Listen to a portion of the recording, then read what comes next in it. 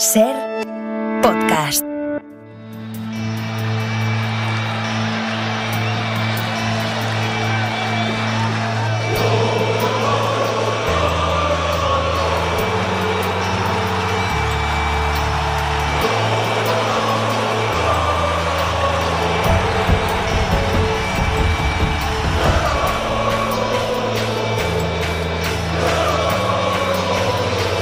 En la cadena Ser. El larguero. Con Manu Carreño. Pues tal y como viene la noche, vamos a hablar de fútbol un rato si no os parece mal y así, pues eh, por lo menos eh, estaremos más entretenidos y con la mente más despejada hablando de lo que ha sido la noche de Europa League y de lo que ha sido la gran noticia del día, sobre todo para los atléticos. Acaba de ganar el Betis 3-1 al Aris Limasol, afianza el liderato y está más cerca de lograr el pase a la siguiente ronda en la víspera del derby del domingo. Y ha ganado también el Villarreal, que perdía 1-0 contra el Maccabi Haifa, pero ha conseguido en los últimos 10 minutos marcar dos goles al Esbaena y Sorlot y ha ganado 1-2. Me alegro especialmente por Pacheta, el entrenador, que se enfrentará al Atlético Madrid el fin de semana. Pero como digo, la gran noticia del día, ahora estamos con los partidos de Europa League, ha sido la renovación del Cholo. Hay Cholo Simeone para rato. Tres temporadas más, ya se ha hecho oficial, lo ha hecho oficial el club, y por tanto el Cholo será técnico del Atlético, si todo va con normalidad, hasta la temporada 2026-2027. Y si cumple este contrato, completará 15 temporadas consecutivas en el banquillo del Atlético de Madrid. A veces lo digo y todavía y digo, mm, eh, no puede, o sea, algo me he equivocado, seguro que me he equivocado. Pero no, no me he equivocado. Kiko Narváez, hola, muy buenas. ¿Qué pasa, Carreño? 15 años seguidos en el banquillo del Atlético. 15 Miguel Martín años. Talavera, muy buenas. ¿Qué tal, Manu? Buenas noches. No es una broma, eh, es, es en serio. No, no, es en serio, sí. Además ha esperado a, como se hace en el Atlético de Madrid, los anuncios importantes a las 19 y 3, eh, por 1903, el año de fundación Por del favor, club. por favor. Ha sido cuando han hecho oficial lo que ya veníamos contando en la cadena SER, que iba a estar hasta 2027 vinculado al equipo rojiblanco. Eh, la verdad que sorprende en cualquier época del mundo del fútbol, pero antes que era los equipos eran más pequeños, más familiares, estar tantos años era muy difícil, pero se podía dar. Pero los tiempos actuales, No, es que todo es una cosa, trituradora, eh, cumplir 15 años si cumple este contrato y no han cerrado las puertas. No, ni han dicho que a lo mejor otros tres Que a lo mejor ¿no? puede ser alguno más. 15 años es una auténtica una pasada. locura. Es una cosa que no es normal, aunque mm, nosotros la demos por normal. Y, y ahí están. Al final los resultados marcan. Eh, solo seis equipos han estado 10 años al frente de la Liga de Campeones en la fase de grupos, todos los años sin faltar, y uno de ellos es el Atlético de Madrid. Y esos resultados son los que Sí. le han dado esta continuidad al Cholo. Luego en el Sanedrín escucharemos algunos de los eh, fragmentos de la charla entre el Cholo Simeone y Miguel Ángel Gilmarín. Pero Kiko, es que a ti los entrenadores te daban, ¿cuánto? Tres meses, no 15 años, sino tres meses. Y en pretemporada, alguno que otro ha- ha- han caído. y lo hemos comentado alguna que otra vez. Era otra época, era también con el tema de Jesús Gil. Pero eh, en el siglo XXI es impensable y después también sabiendo la pasión y de la manera con la que lo vive el Cholo Simeone, el desgaste que tiene Manu a la hora de entrenar a jugadores, de que a los 3, 4 años tiene fecha de caducidad, reinventarse, generar de nuevo ilusión, que la gente no se canse, exceptuando esa crisis que hubo entre eh, noviembre, diciembre del año pasado y enero de, Hmm. de este, que es cuando comenzó, es de récord, de récord Es Guinness. una pasada, es una locura. Ahora os pregunto por este Cholo, que es verdad que ha ido evolucionando en su fútbol, en los jugadores, en la plantilla, pero siempre con la misma intensidad. Eso no ha evolucionado. Y como digo, es el gran protagonista del día. Pero en ese Betis 4, Aris Limasol 1, tenemos a otro protagonista del día. Os interrumpo solo un minuto, Kiko Porque me pide paso Fran Ronquillo con protagonista desde el Villamarín. Hola, Ronqui. Hola, buenas Manu. ¿Cómo estamos, dicen los entrenadores que el primer gol es el que más vale, ¿no? Pues hoy ha sido el de un Hombre, que ha roto una racha Por favor. que, que llevaba ya desde el 28 de mayo. En Montilivi hizo dos goles frente al Girona, penúltima jornada de liga, y hoy se ha roto esa sequía con un gol de Borja Iglesias que ha sido muy celebrado, es muy querido entre la afición del Betis por todo el público de Villamarín. Así que todo tuyo, enseguida hablamos más cosas del Betis, pero hoy ha sido una de las buenas noticias de la noche. Borja Iglesias, muy buenas. ¿Qué tal? Buenas noches. Enhorabuena, hombre. Gracias. Pues cuando lo has metido, ¿qué has dicho? ¿Te has pellizcado qué has dicho ya? Desde el 28 de mayo ya vale, ¿no? No, bueno, ya, al final, si es que ya he vivido de estas, Ya, ya, la ya. primera. Así que con tranquilidad, la verdad es que no. No me lo o sea, me lo tomo mejor que otras, la verdad. Bueno, bueno. El primero de la temporada y ahora que siga la racha, ¿no? En tu cuenta ojalá, particular. ojalá que sí, Joder. que ganemos muchos partidos. Oye, qué importante, ¿no? La victoria de hoy, primero por la Europa League, que se encarrila muy bien el grupo, eh, Sí. pero sobre todo también este tipo de resultados de cara al derby ayudan, ¿no? Sí, eh, bueno, la- las dinámicas y la, la sensación que, que tenemos creo que es positiva y ayuda a afrontar un partido como el domingo. Ha dicho Fernando que el favorito es el Betis para el derby. Qué fácil, ¿no? Ya os la ha colocado, ¿no? Ya os la ha colocado ahí. Sí, nada, yo creo que no, que no es así. O sea, al final creo que es un partido súper igualado, lo hemos, hemos vivido muchas veces y en muchas situaciones de los dos clubes. Y bueno, a ver qué pasa. Bueno, está claro que ellos llegan en baja forma, eso sí, ¿no? Mm, Sí, sí, en en otros años han llegado mejor, la verdad. Claro. Pero bueno. ¿Eso les hace eh, más yo- peligrosos o no? Sí, yo creo que sí. Claro, claro. Es que recibir un- a un rival como este no es fácil, ¿no? No, y más en su casa, con su afición, con, con la energía eh, de todos puesta allí, pues bueno, con, con ilusión de, de- de combatir contra todos. Bueno, a ver si siguen cayendo los goles, porque, por ejemplo, mañana hay lista de Luis de la Fuente, y eso siempre has dicho que tu deseo es estar ahí en la selección, ¿no? Sí, bueno, eh, mañana no creo que esté, la verdad. No, no tiene pinta, ¿no? Ya lo, No lo tiene lo tienes claro, Sí. ¿no? Joder, si cuando llevaba 15 goles no estaba, imagínate ahora. Oye, nunca se sabe, ¿eh? Nunca se sabe. Sí, bueno, se han visto cosas, sí, han, visto, se han visto cosas raras. Oye, fíjate lo, lo que, lo que es el fútbol, Borja, hablando de todo un poco de la selección, sobre todo de vuestro Betis, del derby, pero Sí. estábamos hablando abriendo el larguero con Kiko, que está por ahí escuchándote, y con Talavera. Tres años más el Cholo, 15 años en el mismo banquillo, en un banquillo del Atlético de Madrid. Eso sí que es raro, ¿no? Joder, nada mal. nada mal, la verdad que bueno, creo que se lo ha ganado, ¿no? Joder, y tanto. Madre mía, sí.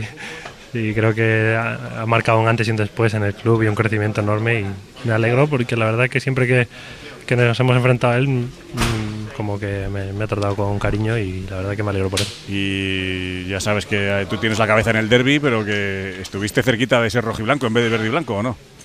Eh, Bueno, a veces mm, todo lo que se habla Se no sé, gafa. ha habido, no, bueno, ha habido momentos que igual están más cerca que otros, eso sí puede ser, pero la dificultad de estar en un equipo como el Atleti pues es difícil, creo que tienen muchos pretendientes y, y bueno, a veces los rumores, no- algunos son muy verdad y otros no tanto. En el mercado de invierno, Sí. después del Mundial de Qatar, vamos. eh, Estaba ya, vamos, ¿no? Estaba, Estaba ya casi, casi intercambio de papeles. No, Pasa- no fue, no, no fue por mi mundial. No, no, no fue por el Mundial, pero porque, No. pero, pero, pero porque ya desde antes eh, habían pensado en Claro, Ya, supongo, claro. Lo que pasa, Kiko, que ahora con Morata y con Grisman, a ver qué pasaba ahí, ¿no? Que tenía que meter codo, ¿no? Kiko. No, pero coño, pero escucha, esto, esto del fútbol da muchísima Sí, sí. vuelta y el Atlético de Madrid en su momento estuvo buscando un futbolista de las condiciones y las características de, de Borja, que, que las sigue teniendo, pero era de lo que es ir al espacio, de jugar bien a la espalda, muy de- Gracias, del cholo, lo que no sabía Borja, pero ¿llegaste a hablar con él o con alguien del Atlético o, o nada? Eh, No. no, no, yo me refería a cuando hemos jugado en contra y hemos intercambiado pues la mano y, y eso y al final. Yo me, la verdad que me hice ilusión de que sí, y la verdad digo, y algún No, Kiko lo outfit, dijo algún- siempre, ¿eh? algún Sí, sí, outfit sí, de sí. hecho de los que veo Borja que me lo dé un día para salir por, por ahí. digo, Ya sé, tal, pero bueno, eso aunque no esté allí, ¿No? te, te lo mando por. Sí, pues por- mándamelo, ¿eh? por Uno de esos lo que me pueden Luego- quedar chulo ahí por Malasaña, dando una vueltecita por Malasaña. Sí, pues mira, por ahí los uso yo. Ah, Sí, señor, sí, señor. Oye, es que, es que mira que mira que se habla de esas cosas también, ¿eh? Y tú, que- y tú que no vas a parar, porque tú dices lo que piensas y al que le guste bien y al que no, pues también, ¿no? Bueno, sí, yo qué sé, a veces me la juego. Sí. A veces es el deporte de riesgo ese. Bueno, te, te la, te la jugaste también diciendo no vuelvo a la selección española eh, mientras no se arregle lo que se tenía que arreglar con el fútbol femenino, ¿no? Bueno, creo que. A ver, tampoco me van a llamar, creo, mañana ni nada, pero. eh, creo que hay cosas que, que arreglar, dar pasos hacia adelante y espero que se estén haciendo. Bueno, pero ya estás en condiciones de si te llama el seleccionador volver, ¿no? Sí, sí. ¿Eh? sí, sí. un poquito no, más eh, contundente, Borja. eso- sí, sí. ¿Eso es un sí, eso Sí. es un, eso es un sí o una duda? Sí, es un sí. Es un sí. Vale, vale, por Sí. si acaso. Es que Luis de la Fuente escucha el larguero. Por si acaso tiene alguna duda para mañana, vete a saber, que nunca se sabe. Ah, sí, sí, yo con el mister tengo muy buena relación, me cae genial y siempre me ha tratado de maravilla y me ha dado mucha confianza, así que, eh, bueno, él sabe que yo le deseo lo mejor y, y estoy seguro que él a mí también, es más, ya lo ha dicho. Pues nada, ojalá que te veamos pronto en la selección y en- lo dicho, Gracias. enhorabuena por el partido y suerte para Manu, el yo sé, Sí, yo sé eh, que no es doctor, pero Sí. si él ha sido la buena noticia, la mala ha sido cómo se ha retirado Claudio Bravo. Es verdad, Y me portero. gustaría saber si desde dentro, en el vestuario, han podido hablar con él, porque eso ha encendido ciertas alarmas de cara al derby. El Ruiz Silva está lesionado y a ver si se puede recuperar el chileno para ese partido. Ojalá, ojalá sea lo mínimo posible y, y que pueda estar disponible. Claudio es un tío súper comprometido, súper trabajador y, y estoy seguro que él tiene más ganas que nadie Claro. Y si no, Fran Vieitos, ¿no? Que ya jugó un ratito con el Barça o, Sí. o Germán, ¿no? Sí, O Germán. seguro. Y a- ambos, ambos Claro. entrenan habitualmente con nosotros. Son dos chicos que trabajan mucho y muy bien y tienen muy buenas condiciones. Yo qué sé, al final esto nunca se sabe. Claro. Si les toca, seguro que van a intentar pelearlo y, y disfrutarlo y aprovecharlo. Bueno, pues nada, Borja. Eh, un, día un, día, un día te dijimos, cuando marques un gol, tocas el larguero, se lo dedicas al larguero. Estamos pendientes todavía, ¿eh? O sea, que no tenemos sí, es prisa. verdad, pasa que. No tenemos, no tenemos Empieza prisa, no, hay prisa, no hay prisa. El, el bote de ketchup empieza ahora. Ahora le da dos golpes y empiezan a caer los goles. Acuérdate. Eso suele pasar, sí. A ver, ojalá, gracias. Un abrazo, Borja. Gracias a ti. Gracias, gracias. Y Chao, enhorabuena chao. por ese gol. Y como decía Ronquillo, la preocupación del portero, que está lesionado Claudio Bravo. Eh, Ronqui, a ver qué pasa con el chileno, porque Ruiz Silva está lesionado y vamos a ver si no le toca a Vieitos, ¿no? Sí, ha sido una fatalidad porque en una mala sanidad, en el tramo final, cuando el Betis ya lo tenía todo resuelto, pues se ha resentido y, y a partir de ahí a, a intentar que no le tire mucho han estado sus compañeros. Mm, Ha terminado el partido, el Betis tenía hecho todos los cambios, pero ha encendido las alarmas. Los médicos lo están evaluando, seguramente mañana sabremos algo y, y en la previa, cuando hable el entrenador, pues le vamos a, Claro, a preguntar a porque dice. el resto, el resto es el equipo de gala. De hecho, ha reservado hoy, lo, lo suele hacer en Europa, rota mucho, pero ha reservado hoy a todo su frente de ataque. Después le ha dado media horita a los principales, a los Ayoce, Isco y William José. No ha estado ni a Sam, pero Ayoce, Isco. Hemos visto a Fekir y a Isco juntos. En fin, que, que alguna cosa tiene ya en la cabeza el entrenador y que el equipo de gala va a estar, salvo ese portero Bueno, que ahora, a día de hoy, a esta hora de la noche, sigue siendo una duda. Atentos a la portería y a ver qué dice Pellegrini en la sala de prensa. Un abrazo, Ronqui. Otro fuerte. Enhorabuena al Betis por ese 4-1 ante el Aris Limasol. Marcaba Borja Iglesias el primero, protagonista en el larguero. Luego Aitor Ruibal, que también eh, hacía ese segundo gol en la segunda parte ya. Más Roca el tercero y Abde en el descuento hacía el cuarto y definitivo. Eh, voy con Kiko y con Talavera, pero ya cierro también la conexión del otro partido de Europa League que se jugó a las 7 menos cuarto va perdiendo el Villarreal 1-0. Y en los últimos 8 minutos, dos goles de los de Pacheta que no sé si le van a ampliar el contrato como al Cholo Simeone, pero por lo menos sí que le va a dar un poquito de confianza. Xavi Sidro, hola. ¿Qué tal, Manu? Muy buenas. Bueno, yo creo que podemos decir que, que ha salvado el primer match ball, pero no ha salvado la papeleta ni mucho menos. ¿eh? De hecho, el Villarreal, eh, bueno, pues ha ganado haciendo un mal partido, mostrando mucha fragilidad defensiva y además también una falta de confianza en ataque. A mí me parece que bastante preocupante ante un Maccabi inferior técnicamente, que llevaba un mes sin jugar, sin entrenar, eh, con los internacionales, que jugaba en terreno de juego neutral y sin público. Aún así, el Maccabi se ha puesto por delante, 50 minutos por delante, y solo como decías al final, con los goles de Baena y de Sorlot, el Villarreal ha sido capaz de ganar. Un Villarreal que, por cierto, ha fallado dos penaltis, uno el noruego Sí, y otro. lo ha repetido, lo ha, lo ha mandado a repetir porque lo ha revisado es. el bar, lo ha tirado Manu Trigueros y el segundo también lo ha fallado. Sí, y eso cuando el Villarreal iba perdiendo en el, Sí, en el marcador. es. Al final ha ganado, es buena la victoria porque el equipo, bueno, pues se mantiene segundo de grupo a tres puntos del liderato y con un partido menos, pero es cierto que el equipo no, no convence, no carbura, sigue lejos de su mejor nivel y, y la verdad es que tiene difícil solución. Ha hablado Pacheta, ha hablado Pepe Reina, Pacheta ve cierto estrés en la plantilla, pero Pepe Reina ha ido al quid de la cuestión y dice que ve falta de entrega en algunos jugadores. Les escuchamos. Estamos disfrutando poco. Todo es por obligación, por obligación, hacemos todo por obligación. Eso no es bueno, por eso estamos en esta situación. Tenemos que hacer crítica a nosotros mismos porque no es un partido que esté a la altura de lo que, de lo que queremos. Bueno, hay gente que eh, tiene que dar más y, y hay que asumirlo. Bueno, Bueno. pues el domingo Manuel Villarreal juega en el Metropolitano. Ahí realmente Pacheta se la va a jugar y ya no le valdrá solo con ganar, sino que si la imagen no mejora es muy probable que Marcelino sea el nuevo técnico. y por cierto, un calentando detalle. en la banda Marcelino, sí, sí. Sí, y un detalle que ha sido lo más llamativo de la previa del partido, el Maccabi ha pedido guardar un minuto de silencio por las víctimas israelíes del conflicto, Mm. el Villarreal ha aceptado pero ha recalcado que el minuto de silencio que ellos guardaban era por las víctimas de los dos lados del conflicto, tanto israelíes como palestinas, pero aún así Mandy y Ilias Akomach, los dos Sí, jugadores han del Villarreal del círculo central, sí. que son de religión musulmana Mm. han dicho que en Anay y solo había nueve jugadores del Villarreal en ese momento. Guardar minuto de silencio solo por las víctimas de un bando, eh, pues es cuando menos llamativo en este tipo de partidos donde el fútbol se supone Claro. que debe mirar por las víctimas de los dos bandos, ¿no? En un evento Eso es. deportivo como es este, en este caso. Un abrazo, Xavi Sidro, hasta luego. Hasta luego, Y a ver qué pasa con Pacheta, al que le deseamos toda la suerte del mundo. Eh, por cierto, se me ha olvidado preguntarle a Xavi Sidro si habrán contactado ya con Marcelino o todavía no. Pero bueno, ya se lo pregunto en otro momento. Eh, nos decía Marcelino el otro día, eh, eh, su entorno cercano, que todavía no habían contactado con él. Veremos a ver qué pasa después del partido con el Atlético, que hay parón de selecciones, a ver si ahí puede haber algún movimiento en el banquillo del Villarreal. Suerte a Pacheta. Eh, fíjate, en Guinea Ecuatorial se ve la Europa League y Benjamín no se la ha perdido. Hola Benji, muy buenas. ¿Qué tal? Muy buenas, Manu. Tenías para elegir el partido del Villarreal y el del Betis, ¿cuál has visto? He visto los dos. ¿Los dos has visto? Qué profesional, macho. En Guinea, en Malabo, Sí, viendo los dos partidos. No, estoy en bata, estoy en bata. Ah, en bata, te has ido a bata, vale, vale. Sí, estoy en bata. Muy bien, y allí nada, con- no, allí con la fundación. Villarreal, Sí, sí.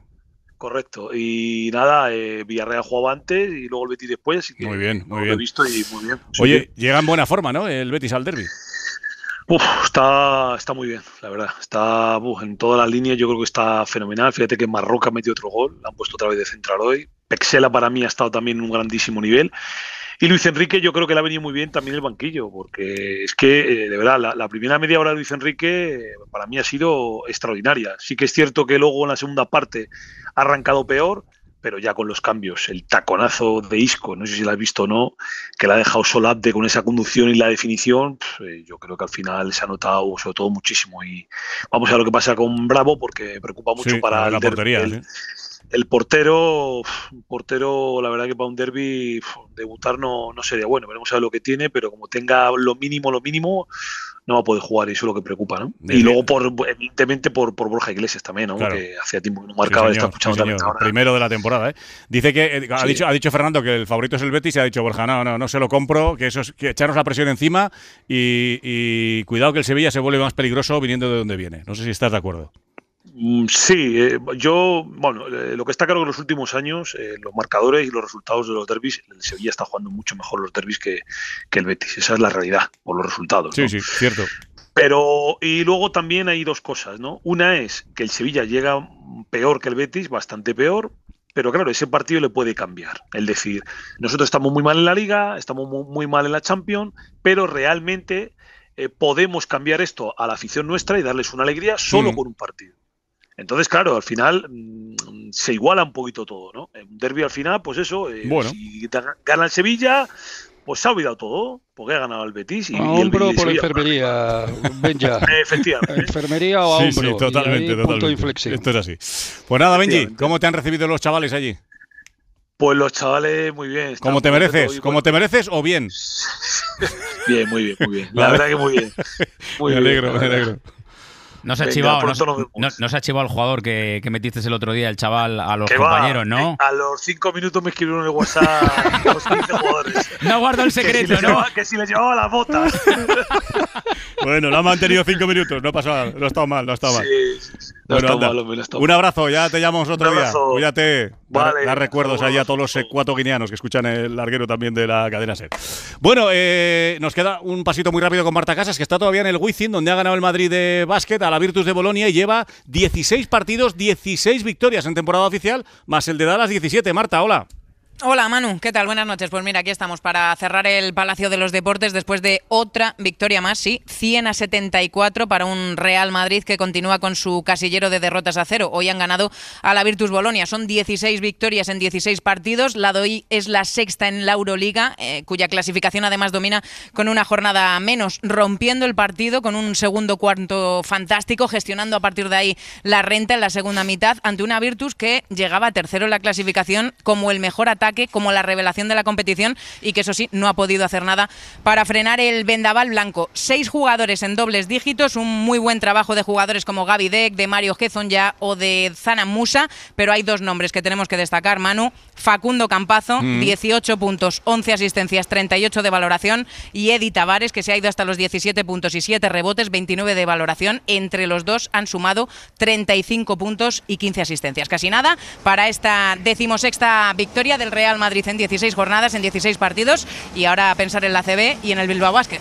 Pues Eso nada. que suena es que están desmontando el Palacio de los Deportes. Vete antes de que cierren y te quedes ahí. Hasta luego, Marta. Hasta mañana. Hasta luego, chao. Pues nada, decimos sexta victoria del Real Madrid de baloncesto en 16 partidos. Eh, terminadas las conexiones con el deporte en directo en esta apertura del larguero, abríamos con Kiko Narváez y con Talavera con la noticia del día que ahora trataremos en el Sanedrín a partir de las 12 con Romero, con Gallego, con Pulido, con Talavera, con Santi Jiménez, con Jordi Martí para hablar, entre otras cosas, de esta noticia, Kiko, que estábamos... Ole, ole, ole. No, Eh, espero- Cholo Simeone, espero que no le pongan 15 pega lo años, Kiko, 15 Sanedrín. años. ¿Pero esto qué es? Pues mira, es- te voy a decir una cosa, Manu. De estos 12 años que creo que se cumple el 23 de diciembre, Sí, sí. fíjate que cuando como con Tony Muñoz, muchas veces lo hemos hablado, porque allá por el 2011 me había reunido con Miguel Ángel Gil, Mm. no sé si te lo conté alguna Sí, vez, a la hora de, bueno, de crear un proyecto en el que venía de la mano Te dijo, vente para acá, Tony échame una mano". Muñoz y claro, y uno de los nombres propios, si eran ah, apuestas, la nuestra era la del Cholo Simeone y de un Luis Enrique que estaba en el Barcelona B, que después Fíjate. 11 el año 11-12 creo que firma por la Roma. Y muchas veces Tony Muñoz y yo le hemos dicho, oye, yo no sé si hubiésemos aguantado lo mismo que el mono mamón este, pero ocho títulos, eh, disfrutar como está disfrutando la gente desde, desde dentro, joder, lo que nos perdimos, porque el nombre propio y el, el colchón, aquel margen que sí nos podía dar Cholo Simeone con lo que era la afición, y después sus conocimientos y pasión, lo teníamos como número uno en la lista de ese Mm. proyecto que, que teníamos Tony Muñoz y yo. Y con el paso del tiempo, a los pocos meses fue el tema de Goyo Manzano, creo recordar, Sí, y cuando. Miguel Ángel. Debutando con ese empate a cero, ¿no? Contra el Málaga, ¿no? llama a Tony a uno, o Muñoz, le dice, dame el número de teléfono de Cholo, que no lo te, y a ver si. Y fue Tony el que se lo da a Miguel Ángel, y Miguel Mm, Ángel llama al pues Cholo. ¿eh? Y, y si se cumple todo, pues 15 años del, del Cholo, del Cholo No, no, Simeone. una pasada. Y, y luego, con todo el mérito que tiene el Cholo, bueno, el otro día decía yo que no soy atlético, ni siento el atlético como tú, ni he visto, ni he conocido la historia del atlético como tú, pero yo decía, joder, por lo que yo he visto, me parece la persona más importante, más influyente en la historia del Atlético de Madrid. Y, y- y yo creo que muchos atléticos están de acuerdo. Pero luego hay que darle también el mérito y la importancia a Miguel Ángel Gil, que ha sabido en los momentos buenos y en los menos buenos, que también lo ha sabido, incluso en los momentos de diferencias entre ellos, seguir creyendo en el Cholo. Porque hoy lo fácil es en cualquier club, lo estamos viendo. No es que los jugadores ya no quieren al entrenador, no es que ya hay alguno que le tuerce el morro al entrenador. Y el entrenador sale por la puerta a los 10 minutos. Y aquí la respuesta siempre ha sido la misma.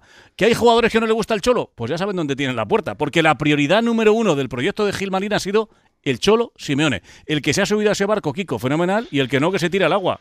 Sí, hombre, yo creo que los números y las estadísticas, es cierto que el Cholo Simeone se lo ha puesto más fácil que otros entrenadores a la hora de cumplir con muchos objetivos y resultados. Pero también quien conozca la intensidad del Cholo Simeone, Manu, a la hora de gestionarlo, también tienes que saber, pues en un momento dado coger un picao, en un momento dado coger la muleta, eh, que, que tener que, que estar muy pendiente en momentos determinados cuando el Cholo tiene esos vaivenes, ¿no? Y gran parte de culpa, evidentemente, tiene ese psicólogo que por momento ha sido Miguel Ángel Gil, que si hay que repartir, ¿no? Elogios, ¿no? A, a la cosa que, que ha pasado en Mm. esta última entonces, Sí, claro sí. que Miguel Ángel Gil también está en, esa lista. Y luego Talavera, que habrá madridistas que dirán, Ancelotti, bueno, pues si sigue bien y si no, no sé qué. Eh, del Barça, pues si se va Xavi, vendrá no sé quién, y si no, pues... Del Atlético, esta noche los Atléticos están durmiendo felices, a pierna suelta, van a roncar como porque van a decir tres años más del Cholo. Eso es tranquilidad asegurada y resultados asegurados. Sí, no será unánime, ¿no? Y habrá gente de la masa social del Atlético de Madrid que hubiera. Y le criticarán, y para eso están también.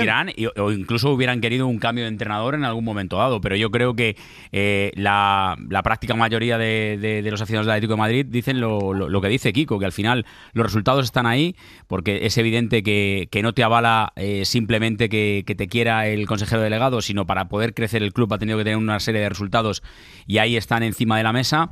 Y yo estoy de acuerdo contigo. Yo creo que el 23 de diciembre del 2011, pues justo con, con seguramente el año de fundación del club, eh, la aparición en el Atlético de Madrid de Luis Aragones, estará dentro de las cuatro o cinco fechas más importantes de la historia de un equipo que de un club que se fundó en 1903. Eso Yo creo que lo dice todo eh, Sí, de- sí. después de haber pasado más de un siglo. ¿no? Qué bonito lo de las 19.03, Kiko, que hacer el comunicado a las 19.03. Se equivoca el del reloj, lo saca a las 19.02 y lo echan. No, no, que me he equivocado un minuto No, antes, lo- a las los- 19. ¿Qué has hecho? Los anuncios importantes, 19.03. A las 19.03. Está bien, está bien tirado. Ya sabemos que de un tiempo para acá en esas cosas el Atlético de Madrid, Manu, Sí, sí, sí. la verdad que lo hace Joder. todo de, de lujo. Ya te digo. Eh, pues nada, eh, Kikorro, un abrazo, enhorabuena por la parte que te toca como Atlético. Sí, hombre, a y seguir, hablando del proyecto no hay, del Cholo. Claro no hay sí. mejor cirujano que el Cholo Simeone para Sí, que te quite 10 años de... Aunque, aunque buena parte del, del éxito de esta temporada está siendo de Gustavo López. el cuervo, que lo he visto en la foto, lo he Cuervo, visto muy guapo. sí, de señor. jersey de cuello renovado alto. también, Hombre, claro, 2027. claro. Mira, por ejemplo, el profe Ortega todavía no ha renovado, sin embargo, el Cuervo sí. Fíjate que el cuervo estaba revoloteando por diciembre y enero y ya desde entonces ya no ya ya, ya no Sí, sí. ya no llamó más. Ya en diciembre y enero estaba revoloteando el cuervo. El Cholo ha dicho, al Cuervo le renovamos. El profe, ya para más adelante, ¿no? Porque renovará el profe, ¿no? Sí, bueno, en principio, ya en la, en la última renovación, al igual que le pasó eh, eh, neotras a, a Óscar Ortega, al propio profe, y también a Germán, a Germán Burgos, no entran dentro del paquete del cuerpo técnico, sino que lo hace por fuera. Ya lo hizo en la anterior renovación y ahora, Bueno. en principio, no hay nada que haga pensar que no va a continuar. Hay una cosa, de- Manu, de que no me ha gustado de la Sí. renovación y te la tengo ¿El que qué? decir. ¿El qué? Que se haya bajado el Ah, claro. No se lo debería de haber bajado. Ahora pues se- eso cuece y a mí me pone que cobre mucho, mucho, mucho. ¿Se lo deberían haber subido? Sí, un poquito. Un poquito, ¿no? Sí, porque eso cuece y tala. Sí, Entonces, hombre. Ahora Romero. Romero Pulido Escúchame, y, escúchame, y ya, tal, ahora Kiko. Kiko, Sí. ponte el pinganillo que a ver Sí, lo de, sí. oye, el mensaje no cuela, Sí, el entrenador sí. está desgastado. Estoy loco por cosa, escuchar a a, a mis niños, a mi gallego, a, a mi pulido y a mi romero. Estoy loco por escucharlo. Un abrazo, Kikorro. Abrazo. Hasta luego. Se queda por aquí Talavera. Ahora viene Pedro Fullana para ponernos algunos de los sonidos de eh, Miguel Ángel Gini y el Cholo Simeone, que han tenido una charla entre los dos. No es una entrevista, es una charla entre propietario y entrenador, que tiene algunas frases que merece la pena escuchar. Ahora lo oímos en el Se Sanedrín. emociona el Cholo, ¿eh? Sí, sí, se emociona. dado. Y un momento que se le quiebra la voz incluso. Pero en esta noche de actualidad informativa fuera del fútbol, eh, nos pide paso Alfonso Gea, que está actualizando eh, las últimas noticias con respecto a esas protestas que están teniendo lugar en varias ciudades de España, eh, después del acuerdo al que han llegado el PSOE y Junts por esa ley eh, de amnistía. Eh, y que tiene a- ahora mismo a las fuerzas de seguridad pendientes de los incidentes en, en la calle Ferraz, en frente de la sede del PSOE. Ahí está Alfonso Gea. Hola Alfonso, muy buenas. ¿Qué tal? ¿Qué tal, Manu? Bueno, nos hemos desplazado un unos mm, metros hacia el barrio de Moncloa. Acabamos de presenciar la detención de dos eh, elementos radicales, dos alborotadores que han sido detenidos, atención, por las unidades camufladas de la Brigada Provincial de Información. Eh, Estos policías, que evidentemente no van uniformados, han sido los responsables de esta detención de estos dos individuos que acababan de volcar un contenedor de basura y lo habían incendiado en el cruce de la calle de Meléndez Valdés con Hilarión Eslava, en pleno barrio de Moncloa, a unos 500 metros, como tú decías, de la calle Ferraz. Están ahora mismo identificándolos, ya esposados, van a ser introducidos en los furgones policiales. La verdad que toda la noche, desde que comenzó eh, la disolución de esa manifestación, que no había sido notificada, en las puertas casi de la sede federal de los socialistas, todos los saltos, todas las carreras se han desplazado hasta esta zona norte de Moncloa, en los alrededores del intercambiador de transportes que existe aquí. Aquí es donde se han producido las escenas, eh, pues si se quiere, de, de mayor violencia, tanto de los abortadores, siempre, Manu, en Mm. grupos de 7, 8 personas muy bien organizados, Mm. pero la policía está mucho más organizada que ellos y estos agentes camuflados eh, están siendo los responsables de la mayor, del mayor número de detenciones de los alborota- alborotadores. Mm. Hace como media hora la delegación del gobierno eh, daba una cifra provisional de 10 arrestados, bueno, con estos dos que estamos viendo ahora, que están ya sentados y esposados, son 12 como mínimo. Sin duda alguna, antes de que llegue la mañana, Mm. habremos tenido cerca de 20 o 25 detenciones de alborotadores. Pues. Los bomberos Sí. están ahora mismo sofocando este incendio del contenedor y, y, bueno, lo que digo, están esperando la llegada del furgón policial para que los dos arrestados sean conducidos a la sede de la Brigada Provincial de Información en el barrio madrileño de Moratalaz. Ayer, ayer veíamos unas imágenes eh, de la policía deteniendo a, ayer no, antes de ayer, a varios Sí. de los que estaban en los incidentes y uno de ellos cuando le quitan la capucha le dice que soy de los vuestros y le enseña la placa eh, porque era uno de esos que dice Alfonso, claro, ¿no? Claro, claro, Claro. Eso es muy habitual que Exacto. eso suceda cuando se producen las cargas entre los uniformados y los agentes que van Eso camuflados. es. Pero la- en realidad son los agentes camuflados los que llevan toda la tarde en mayor Eso es. número que el martes eh, integrados entre los alborotadores para ir detectando quiénes son los elementos más peligrosos y por supuesto proceder proceder a su arresto. Esto es lo que ha pasado aquí y ya están, como decimos, arrestados con Mm. los grilletes puestos esperando ser trasladados a esa comisaría del barrio de Morataraz, que es la sede de la Brigada Provincial de Información. Pues Hasta luego, Alfonso. Cualquier novedad nos pides paso. Venga, hasta luego. Un abrazo, hasta Un luego. abrazo fuerte. Séptima noche de protestas y hoy, pues, eh, con la última hora, Alfonso Gea. De aquí a que termine el larguero, cualquier novedad nos pide paso. El larguero. Con Manu Carreño. Las 12 y 5, las 11 y 5 en Canarias. Hola, Antonio Romero, muy buenas. ¿Qué tal? Muy buenas a Don todos. Jesús Gallego, ¿qué tal? Buenas noches. Julio Pulido, saludos cordiales. ¿Qué tal? Buenas noches. Miguel Martín Talavera, que sigue por aquí. Aquí estamos. En Barcelona, Jordi Martí, Bonanit. Bonanit, muy buenas. Y está por ahí Santi Jiménez también. Hola, Santi, muy buenas. Hola, ¿qué tal? Buenas noches a todos. ¿Me falta alguien? No, estamos todos, ¿no? Eh, estamos todos, sí. Creo que estamos todos. Eh, antes de recibir a nuestro invitado protagonista del larguero esta noche, algo que queráis decir, felicitar a los atléticos, eh, la renovación del Cholo. felicidades por la No, renovación. no, a mí no. He dicho a los Sí, atléticos. Felicidades. Bueno, yo, yo creo, yo creo que más allá del, del aspecto económico del que hemos hablado mucho tiempo, el entrenador mejor pagado del mundo y demás, es indudable que hay una conexión sentimental entre el Atlético de Madrid y Diego Pablo Simeone. Eso lo ve todo el mundo. Hay una un punto emocional Se ahí. quieren, se quieren. Eh, Miguel Por- Ángel y el Cholo. Por lo está que claro. sea, la- el recordatorio de aquel episodio después de la final de Milán, cuando fue, vino Miguel Ángel y demás y tal, y bueno, eso, eso es indudable. El- el- la vida del Cholo y la, y, y la historia deportiva del Atlético de Madrid están unidas y, y ahí hay unos sentimientos que son innegables y que en el mundo del fútbol en el que vivimos, que es todo mercantilismo, miles y miles de millones de, de euros, ahí hay algo más y eso No ha sido hay que siempre así, reconocérselo. ¿eh? No ha sido siempre así. Pero ¿eh? que si no hubieran sido creo que resultados, sí. No, no, que, que no, al final no. tú puedes querer mucho a una No. persona, pero si no hubiera habido resultados. Vale, Sí, pero, pero eso, pero- sido siempre pero eso lo hace más meritorio, ¿no? Sí, no ha sido que siempre hayan tenido así. sus momentos de No ha sido siempre diferencias. así y de- con Miguel Ángel. Sí, sí. Hace poco no era así. O sea, Es que las relaciones año, cambian, Pulido. Esto, esto que ahora, como decía el otro día, vemos con eh, normalidad y es que renueve tres años más Simeone, 2027, hace unos meses no estaba tan cerca, ni muchísimo menos. Las diferencias con Miguel Ángel Gilmarín eran gordísimas, esto es una realidad.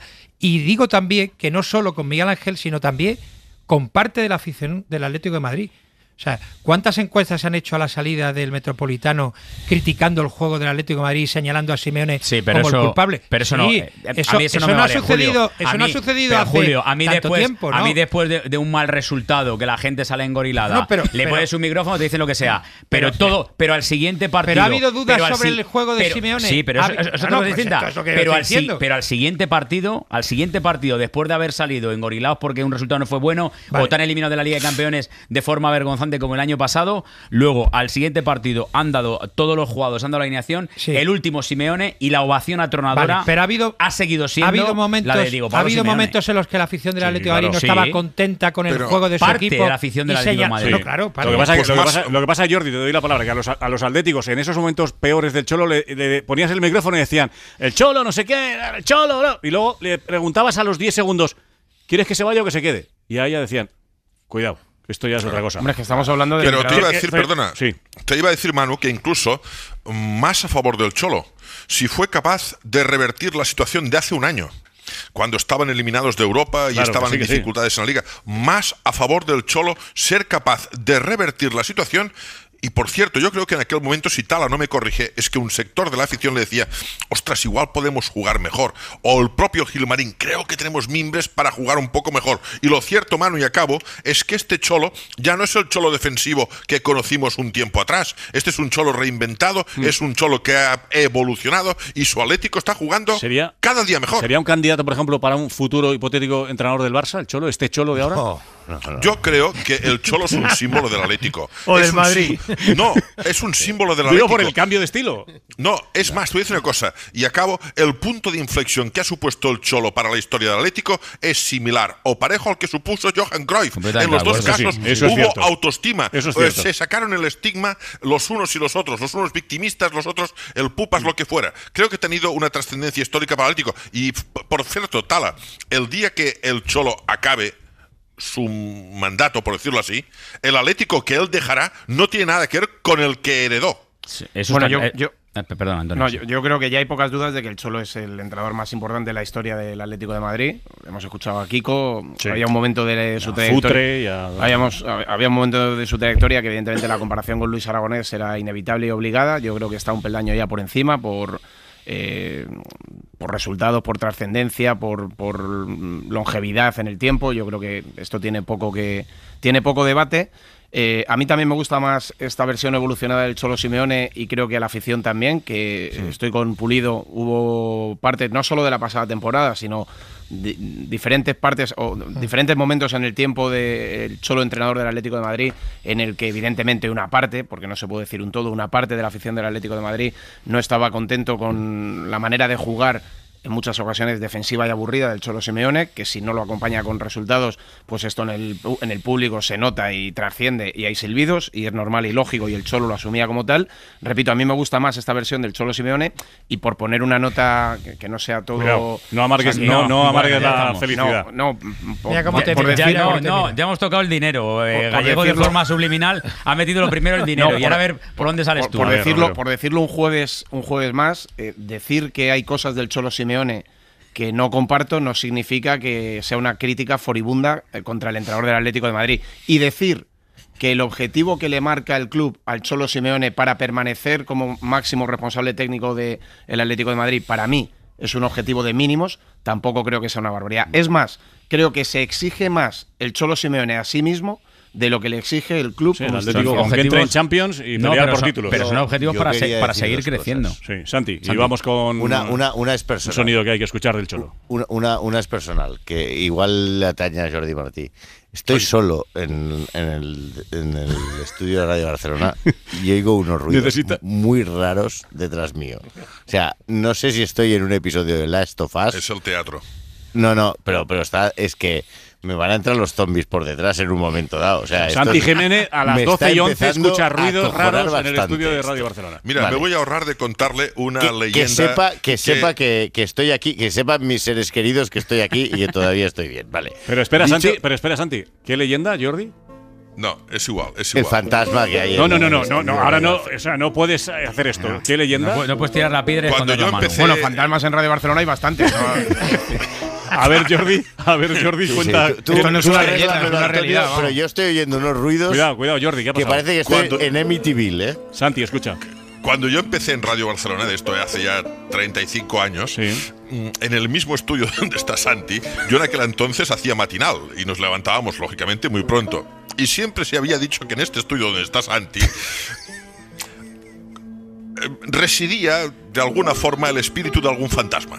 Me estás dejando mucho más tranquilo, ¿eh? Pero sepas, Santi, que hay cámaras y que si viéramos que algo aconteciera No rápidamente, No tenemos un equipo de protección que acudiría en tus Sí, sí, Vale. me fío mucho del equipo de seguridad. Cerramos el paréntesis y se queda Ahora- más tranquilo Santi Jiménez. ya. Venga, sí, Una vez al hecho el mejor. mensaje, el mensaje este personal de, de- voy a voy a lo mío. A mí lo que me sorprende de Simeone y el Atlético es que es está sonando otra cosa muy rara ahora aquí detrás. Eh, hostia, se está cayendo cosas, en serio. Me estoy, me estoy cagando vivo. Eh, es que eh, él siga con las ganas de seguir. O sea, porque Sí, eso no ha cambiado. Sí, sí. porque hay, hay muchos entrenadores, como se puede decir, eh, que los, los ciclos son 3, 4, 5 años, me canso, ya no sé qué, no, hay- no doy más. Y que es más fácil que el entrenador se canse del club que el club del entrenador. Y, lo de- y el compromiso del Cholo es de Cholo Ferguson, ¿eh? Sí, sí, tiene esa pinta de llegar a no sé cuántos años. Es- Sí, luego- luego es verdad que ha variado el estilo, ha variado los jugadores, ha variado lo que queráis, pero lo que no ha variado es la intensidad del año 1 con respecto al año 12. O sea, en No, eso- no, escúchame, escúchame. Y, y es verdad que a Antonio no le van los resultados. No, no, yo no he pero, dicho eso. Pero quiero decir. He dicho que son resultados de no, mínimo. No, que exigirle el pe- pero cuarto te puesto. Digo, pero te digo que en 12 años. Es que, es que en 12 años, Antonio. sí, que me sé la escúchame, no, no no, no. tiene- no, Ocho estadística. títulos. No, no, pero ya no los 8 títulos, Manu. Es que en 12 años no ha dejado de ser tercero como mínimo. No cuarto, tercero como mínimo. Quiero decir, ha habido una mala temporada, o más de una mala temporada del Liverpool, del Arsenal, del Milan, Sí, sí. de la Juve, del Mucho Inter, mérito. del Oporto, del. Benfica, del Sporting de Portugal, del Manchester United, Claro, pero la del diferencia- Borussia de Dortmund. Y no ha habido una mala Ya, temporada sí. para, para haber quedado más atrás Pero del si es tercero. que- pero si es que Joder, no te vale no, ni el empate. no, es, que mi- no, es que no te vale eso, No, que Antonio. mi argumento, que para mí, el Atlético de Madrid, para que, para que lo entiendas, el, el año pasado el Atlético de Madrid queda entre los tres primeros. Y para mí la temporada del Atlético de Madrid el año pasado es mala. Vale, por esto digo, Mm. por esto digo que el, el- el- Pe- pero mira, la tú, llevas viendo, mínima. tú llevas viendo muchos años fútbol. sí, pero Eh, que- un año como el del año pasado, lo normal es que un equipo se caiga a plomo. Sí, yo esto bueno, no lo pues yo creo, pero- yo creo, siendo una mala temporada, estoy de acuerdo contigo, yo creo que tiene mucho mérito. ¿Estás de acuerdo conmigo? Hoy, porque No, no, no, no. Por un yo, día no, no no, nada. yo creo que tiene mucho mérito, yo creo que tiene mucho mérito un equipo que estaba muerto antes del Mundial, levantarlo Que y sí, tiene terminar mucho jugando mérito. como que, jugó. que- que tiene mucho mérito, pero que fue una mala temporada. Y mm, solo mm, tengo Pero una escúchame, duda. y si no le pegan mangazo, Rápido que hay que y si no le pega, y si no le pega el mangazo en el Madrigal, es que queda Vale, segundo. Correcto, muy bien, pero que fue una mala temporada. Vale, Porque- perfecto, pues Porque, en imagínate el noviembre, porque en noviembre estaba fuera de todo. Pero dicho esto, a mí me queda la duda, que me imagino que tendrá también el Cholo Simeone, y no es día hoy para hablarlo, pero. mm, Pero lo vas a hablar. No, no, eh, la Sí, duda. no, la duda- caso, hablar. El Cholo Simeone, cuando, cuando lleve 15 años en el Atlético de Madrid.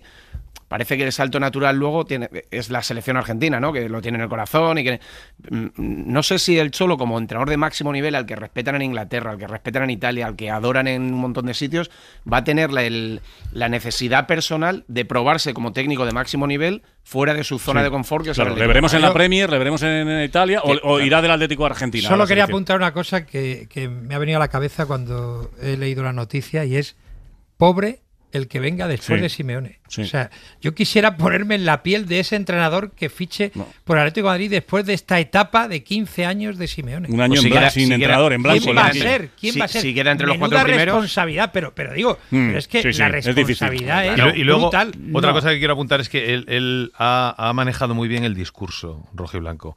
Es decir, de- de- hay frases del Cholo que han quedado ya en el imaginario del Atlético de Madrid para sí, siempre. correcto, es La verdad. frase molestamos. El Atleti molesta. No nos quieren porque molestamos. Somos los pobres del- de, de la liga. No, Competimos si crees, con dos transatlánticos. No todo nos- eso lo ha conseguido no dejemos y se de lo ha metido comer- a la gente de los Atléticos. No dejemos de comer pizza, dijo una vez aquí. Sí, efectivamente, No sí, dejemos de comer pizza, que somos un equipo humilde, no nos vengamos arriba y queramos en eso es comer el- ahora. en no sé eso qué. es el mejor. Pero vamos a escuchar lo que ha dicho con Miguel Ángel Gil. Eh, está por ahí Pedro Fullana. Hola Pedro, muy buenas. ¿Qué tal, Manu? Muy buenas. Eh, no es una entrevista, es una charla, eh, cara a cara, pero ha habido un momento en el que mm, tenía los ojos vidriosos, se le entrecorta un poquito, se emociona el Cholo Simeone, recordando uno de los momentos, uno de los momentos, o el momento más difícil Más de- duro, del sí. Cholo como entrenador del Atlético, ¿no? Sí, es una charla de 30 minutos en el vestuario del Metropolitano, Gil Marín frente a Diego Pablo Simeone y se ha emocionado sobre todo en un capítulo cuando recuerda eh, los días después de la final de Milán, su momento más crítico, más complicado, más difícil, porque él es atlético de corazón y él siente el Atlético de Madrid y al final es un entrenador sí, pero también quiere ganar porque él siente el Atlético de Madrid y se le nota, por ejemplo, en momentos como este. Yo creo que la gente se valora por los hechos, no por el dinero, eh, no por las palabras, sino por los hechos. Y mm, cuando perdimos, cuando perdimos la segunda final, que obviamente fue dolorosa, porque yo creo más cerca de ganar no estamos, porque no hay, no hay por después de los penales no hay nada. Si tarde de pensar, ¿por qué? Porque decía, ¿cómo hago para otra vez generar en los chicos confianza en el entrenador que perdió dos finales? Y yo le decía a, a Carla, ¿no? A mi mujer, le decía, yo sé lo que necesito, es que Miguel, Miguel venga a Buenos Aires. ¿Por qué? Porque es un hecho puntual de, de, de- de hacerme sentir de que me quiere. Y bueno, a los 15 días, 20 días me llamaste, me, me dijiste, eh, Diego, mira, tengo ganas de ir a verte a... Y, y ahí interpreté que no había manera de que venga quien venga, porque en ese momento también hubo novias que quisieron seducirme, pero yo le decía a Carla, digo, no, no hay manera, no hay manera. Son matrimonios, Manu, que como todos, Sí, sí, pues totalmente. pasan por buenos momentos, por, por altibajos y que al final, pues cuando se quieren, siguen juntos, como está pasando con Diego Pablo Simeone y con Te ha quedado muy Gil bonito Marín. eso, eso te ha quedado... No, pero es que, pero Romero, es que es verdad, es que No, no, es la vida misma, No, la, la no, vivimos Pedro, todos en Pedro, no entres, no entres, que es una noche muy No, feliz pero me la imagen. Es que Romero muy Y- poco Y sentimental. la Va a estamos viendo, se puede ver en la cuenta de YouTube de Larguero. Esa y la imagen no es normal. No, es normal. No es normal. Mm. siendo un matrimonio y siendo el cholo como es, incluso es capaz de reinventarse para contentar a gente como tú. Mira, por ejemplo, con ¡Ostras! Muy bien, muy bien. Y creo que nos hemos regenerado, ¿no? Digo, yo también jugábamos de una manera en un momento, hoy creo que el equipo ha evolucionado a otro tipo, no quiere decir ni que sea mejor esta ni mejor aquella, simplemente el equipo nos pide eh, jugar de esta manera y yo quiero más. Quiero más, lo sabés que quiero más y ojalá que podamos llegar a esta meta, en principio, eh, de estos tres años con, con todos los objetivos que tenés vos, que tengo yo, que tienen los jugadores y que tiene nuestra querida afición. Bueno, pues ha hecho lo para rato. Amén. De momento tres años como mínimo. Pero Sí, este sí. es Diego Pablo Simone también de Totalmente. esa faceta muy sentimental, muy sentida y, y- y como entrenador del Atlético de Madrid. Ese yo quiero más, Pedro, eh, es el anhelo personal que él tiene con el asunto de la Champions tras las dos eh, Posiblemente. eh, final- Mm. finales Es que- es que perdidas. tienes que entender- Eh, Está hablando de Champions. En- la en- tiene ahí clavada, ¿no? Claro, él no te lo va a reconocer en público, pero el Cholo es el más ambicioso del mundo. El Cholo es, eh, es un obsesionado de lo suyo y quiere ser mejor y quiere ganar mucho más. Evidentemente, la espina de la Champions la tiene clavada Diego Pablo Simeone como los aficionados del Atlético de Madrid. Y evidentemente, si algún día la ganara, creo que sería el fin de Diego Pablo Simeone en el Atlético de Madrid, porque creo que habría culminado su obra, que es lo que creo que tiene entre ceja y ceja, Hmm. aunque obviamente en público a veces no lo, no lo reconozco. Sí, señor. Pues nada, el que quiera ver la entrevista completa, por supuesto, en la web del Atlético de Madrid y la tenemos colgada también ahí en la, en la web de la SER y en la cuenta de YouTube y en la cuenta de Twitter de Larguero. Eh, hasta mañana, Fuyana, un abrazo. Hasta mañana, un abrazo. Adiós, Pedro. Don Vicente del Bosque, buenas noches. Hombre. Hola, buenas noches. Bienvenido al Larguero, ¿cómo estamos? Pues nada, muchas gracias y gracias también por ese protagonista de lujo. No sé si estaremos a la altura de todos los que estáis ahí. Ah, e- era- era Vicente, el protagonista de lujo. Se lo, lo Me refería, a cualquiera. me refería al Cholo, me refería al Cholo. Ah, vale, vale, entonces ya me he equivocado yo. No, no, no. Me refería a usted, a, a usted don Vicente del Bosque. Eh, 15, 15 años en el mismo banquillo. Eso sí que es una cosa rara en el fútbol, ¿eh? Sí, admirable, yo creo por una parte y por otra, por, por Simeone el primero y también por los que dirigen el Atlético de Madrid. Exacto, sí, sí. Porque confiar cuando vienen mal dadas, lo fácil es cambiar, ¿no? Sí, la figura del entrenador ya sabemos que es poco considerada y, en fin, siempre, en cuanto vienen malos los resultados, la- las miradas casi siempre van para el mismo. Y en este caso, pues han sabido templar cuando las cosas venían mal y soportar aquellos momentos difíciles que seguramente habrán tenido en esta, en esta trayectoria, claro. Hmm, Pues nada, protagonista del día el Cholo Simeone con esos tres años más. eh, y vamos a ver, porque puede, puede que no sean los últimos. Va, si, cum- si cumple el contrato, superará los 14 que estuvo Miguel Muñoz en el Real Madrid, que tampoco estuvo mal. ¿eh? Sí, sí, una barbaridad, una barbaridad, aunque no es por em, de mérito de, de Miguel Muñoz, sino que yo creo que también la época ha cambiado, hay un exceso de visceralidad, no sé cómo decirlo, de nerviosismo en todos los clubs que, que no es tan fácil estar con estos años que lleva el Sí. solo. Hay un exceso de nerviosismo, yo creo, en todas partes ahora mismo, ¿no, Vicente? en la sociedad en general. ¿no? Sí, sí, todos los lados, sí. Como pasaría en la calle, ¿verdad? Exacto, exactamente. exceso de nerviosismo y exceso de tensión y en el fútbol también. Eh, es así. Y en, y en los banquillos, fíjese, fíjese el Sevilla, ¿no? Ahora ya Diego Alonso, que lleva cuántos partidos lleva. Ya están, como pierda el derby, si es que no da tiempo ni a empezar, ¿no? Un proyecto. Bueno, pues de momento nos quedamos con el ejemplo de, del. Atlético de Madrid y, de- y del Cholo. Pues Yo sí. creo que es lo mejor que podemos pensar, ¿no? No estaría mal que, que. Y luego, no sé cómo, cómo has visto eh, la, la evolución de su juego también, que él mismo ha dicho en alguna ocasión últimamente, la- es- ha utilizado esa frase o esa expresión de reinventarse, ¿no? Que- demostrando que se puede ser Con- más defensivo, no- más no ofensivo. sé quién de vosotros ha dicho lo de que ha quedado siempre tercero, por lo menos. Talavera, el sí. mínimo, el mínimo de ha cumplido con el con, con el eh, lo que le pedía al club seguramente. Y, y después, pues que yo creo que a través de los tiem- del tiempo ha ido cambiando de receta. Y la receta no hay una receta única para jugar al fútbol. Hay una receta que en función de los jugadores que tengas, pues tú la puedes ir adaptando. Y ahí está la habilidad del entrenador para esa receta hacerla eficaz y que sea una receta ganadora, claro. Sí, sí. A veces se, nos da muy bien a los periodistas poner etiquetas, ¿no? Entrenador defensivo. Ahora ya el Cholo es entrenador ofensivo. Ahora ya es, es un entrenador atacante. Bueno, pues ha, ha jugado, ha jugado como él, ha creído y lo más importante para que a un entrenador le crean es que pues lo que le diga sea creíble, claro, es fundamental y que los jugadores se acerquen a él, se arrimen desde la credibilidad que le da el entrenador. Hmm. Bueno, más allá del Cholo Simeone, habíamos quedado con Vicente del Bosque para hablar un poco de fútbol y repasar y pre- preguntarle qué tal le va, cómo está, bien, viendo mucho fútbol, qué tal está en general, don Vicente. Bueno, con alguna alguna avería, pero por lo demás todo bien. Todo Con esa rodilla que da un poquito de guerra. Tanto pádel es lo que tiene, don Creo, Vicente. creo que ha pasado por talleres, Vicente, ¿no? yo- Últimamente, ¿no? Yo digo, yo digo que es de tantas veces que le di de rosca, me gustaba mucho darle de rosca, yo creo que la rodilla se ha jodido. Sí, sí. No, tuve una, una lesión con 19 años en, en Oviedo, con el, jugando con el Castellón cedido. Y, y de entonces yo creo que las eh, lesiones aquellas que eran luego muy agresivas, porque eran operaciones que duraban tres o cuatro- un simple menisco, pues yo creo que se producen luego unas artro- artrosis que, digo yo que, vamos, hablo de como profano de en la materia, pero sí que es verdad que seguramente sea eso. Ya. Bueno, decía Romero que se ha pasado por talleres, ¿no? Pero sí, que- había- creo que había pasado por Sí, talleres sí. últimamente. Le han dejado Sí, hecho pintura una perfecta. prótesis en la clínica centro con el doctor Guillén. Ah, Buenas manos ahí, Todo buenas manos. Todo, todo ha ido muy bien. Sí, señor. Con el doctor Guillén, que este que está empezando, ¿no? Este nuevo que está empezando, ¿no? Es un médico nuevo que hay. Sí, pero bueno, eh, muchas veces la experiencia y, Sí, señor. y la tarea que realiza es extraordinaria porque está ahí el primero y se va el último. Exactamente, el que va- vamos, eh, vas a la clínica centro y está el doctor Guillén con 80 y no sé cuántos tiene, 83, 84, 80, no sé, ya no sé cuánto, ahora No lo miro. sé, no sé. Pero vamos, que es el primero, como dice Vicente, y el último en irse, y sigue operando y vamos, pues nada, que vaya bien esa rodilla.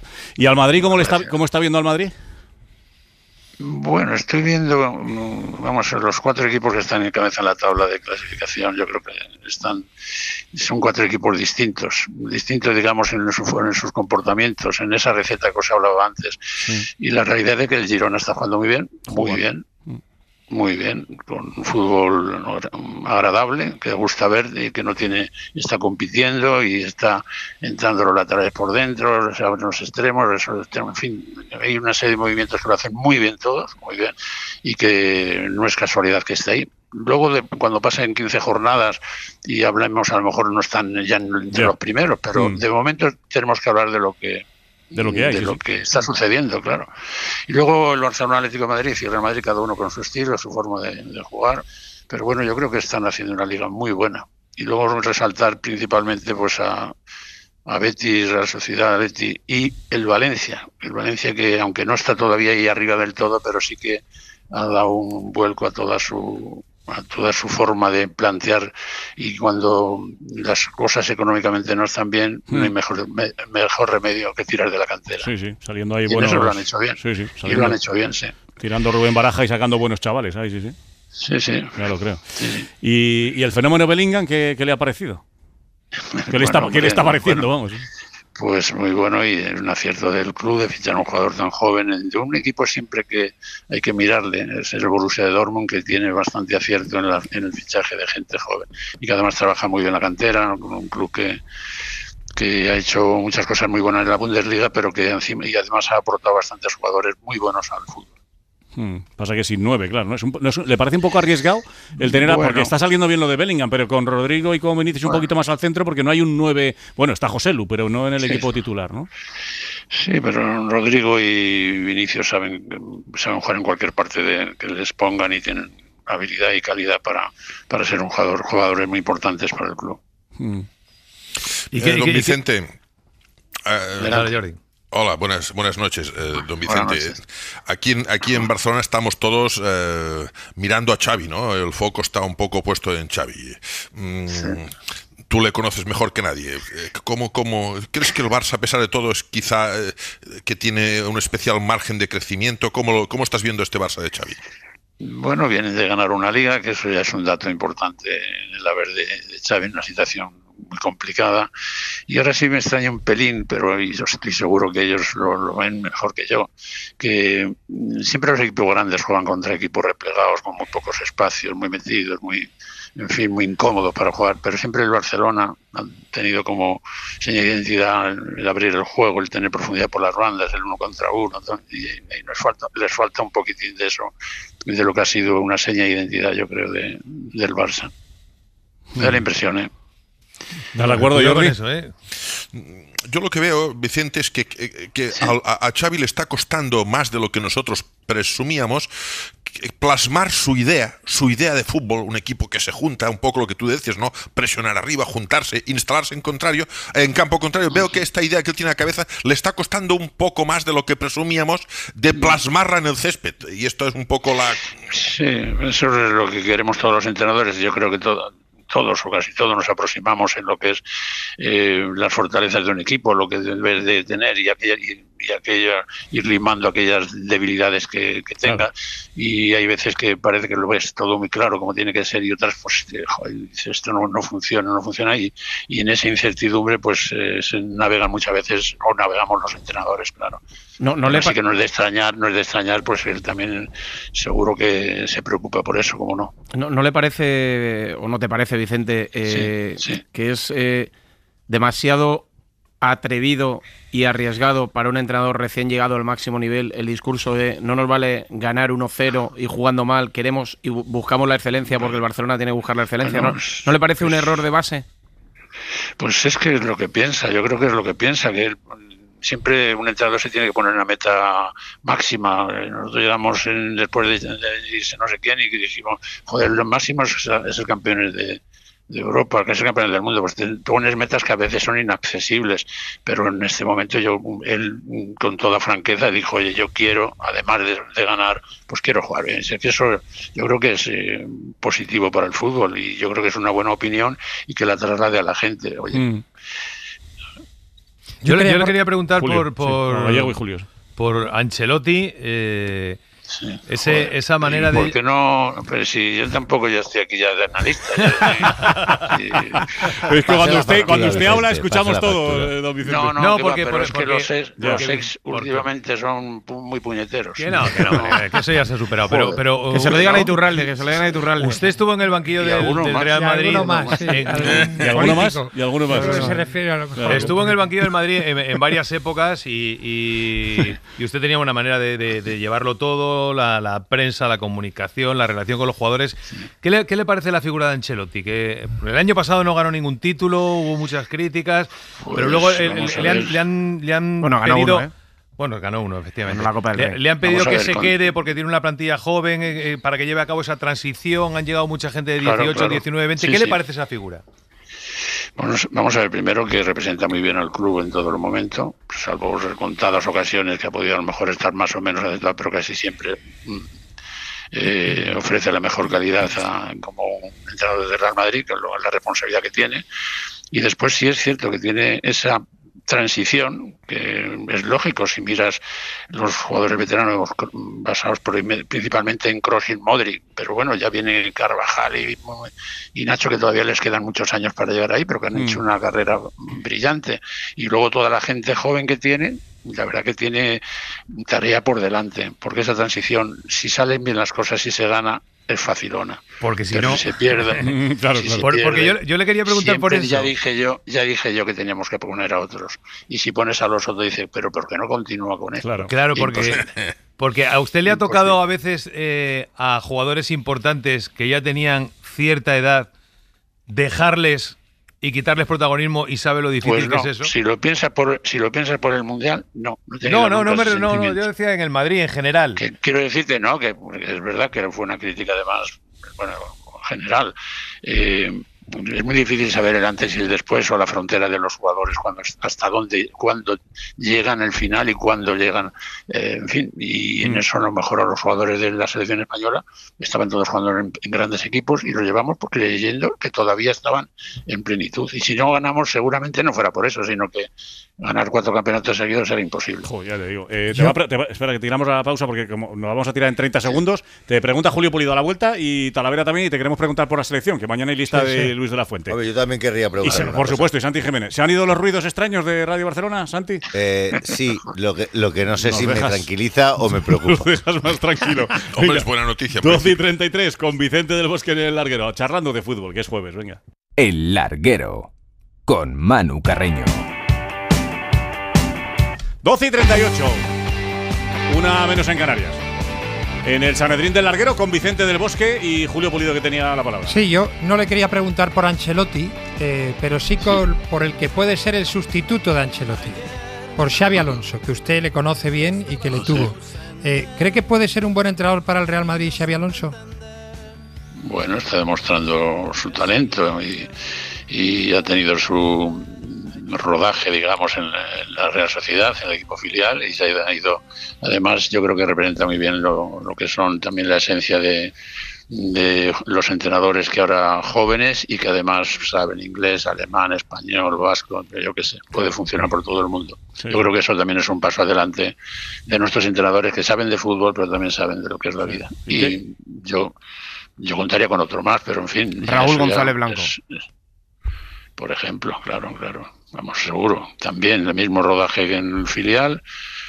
Tiene calidad humana, tiene conocimientos y, y también con idiomas, en fin, Hmm. sabe de todo. ¿Qué importancia, Gente le da. ¿Qué importancia le da Vicente a esa formación de, pues por ejemplo, eh, Raúl en el filial los años que lleva, o Xavi Alonso en la Real y ahora en el Leverkusen, con, con respecto a Xavi que ha llegado un poco, mm, digamos, menos rodado al banquillo del primer equipo del Barça? No, bueno, yo creo que mm, muchos de los que han estado de jugadores hasta el final siempre han tenido, o por lo menos a mí me ocurrió desde los 27 años, 26 años, ya empecé a, a, a barruntar que mi futuro estaba ahí. El, mío era, yo solo pensaba en, ser, en entrenar a las categorías inferiores, ya iba a ser un entrenador formativo, no pensaba en ser un entrenador profesional. Pero ellos han demostrado en el, en el tiempo que llevan que son muy buenos. Me imagino que también habrá gente joven que yo creo que en, España afortunadamente, afortunadamente yo creo que el tema de los entrenadores está muy bien, con una gran formación de todos ellos. ¿Por, por qué, Vicente, piensas que no hay un, un clamor popular ni en el club ni en el madridismo para que el siguiente sea Raúl? Bueno, porque no hay necesidad, yo creo todavía, no sé, me imagino que es el que está, tiene todas las bendiciones de arriba y de abajo, yo creo que es un hombre que se merece un, un cuidado, ¿no? Y en eso así están haciendo con él, claro. Y me imagino que cuando se mantengan, vayan a la idea de traer otro entrenador, pues me imagino que entrarán. Claro, entre los candidatos, ¿no? opinará, Mm. claro. Yo quería preguntarle, Vicente, no como entra- exentrenador del Real Madrid ni como ex seleccionador español, sino por lo que decía, de entrenador del fútbol base.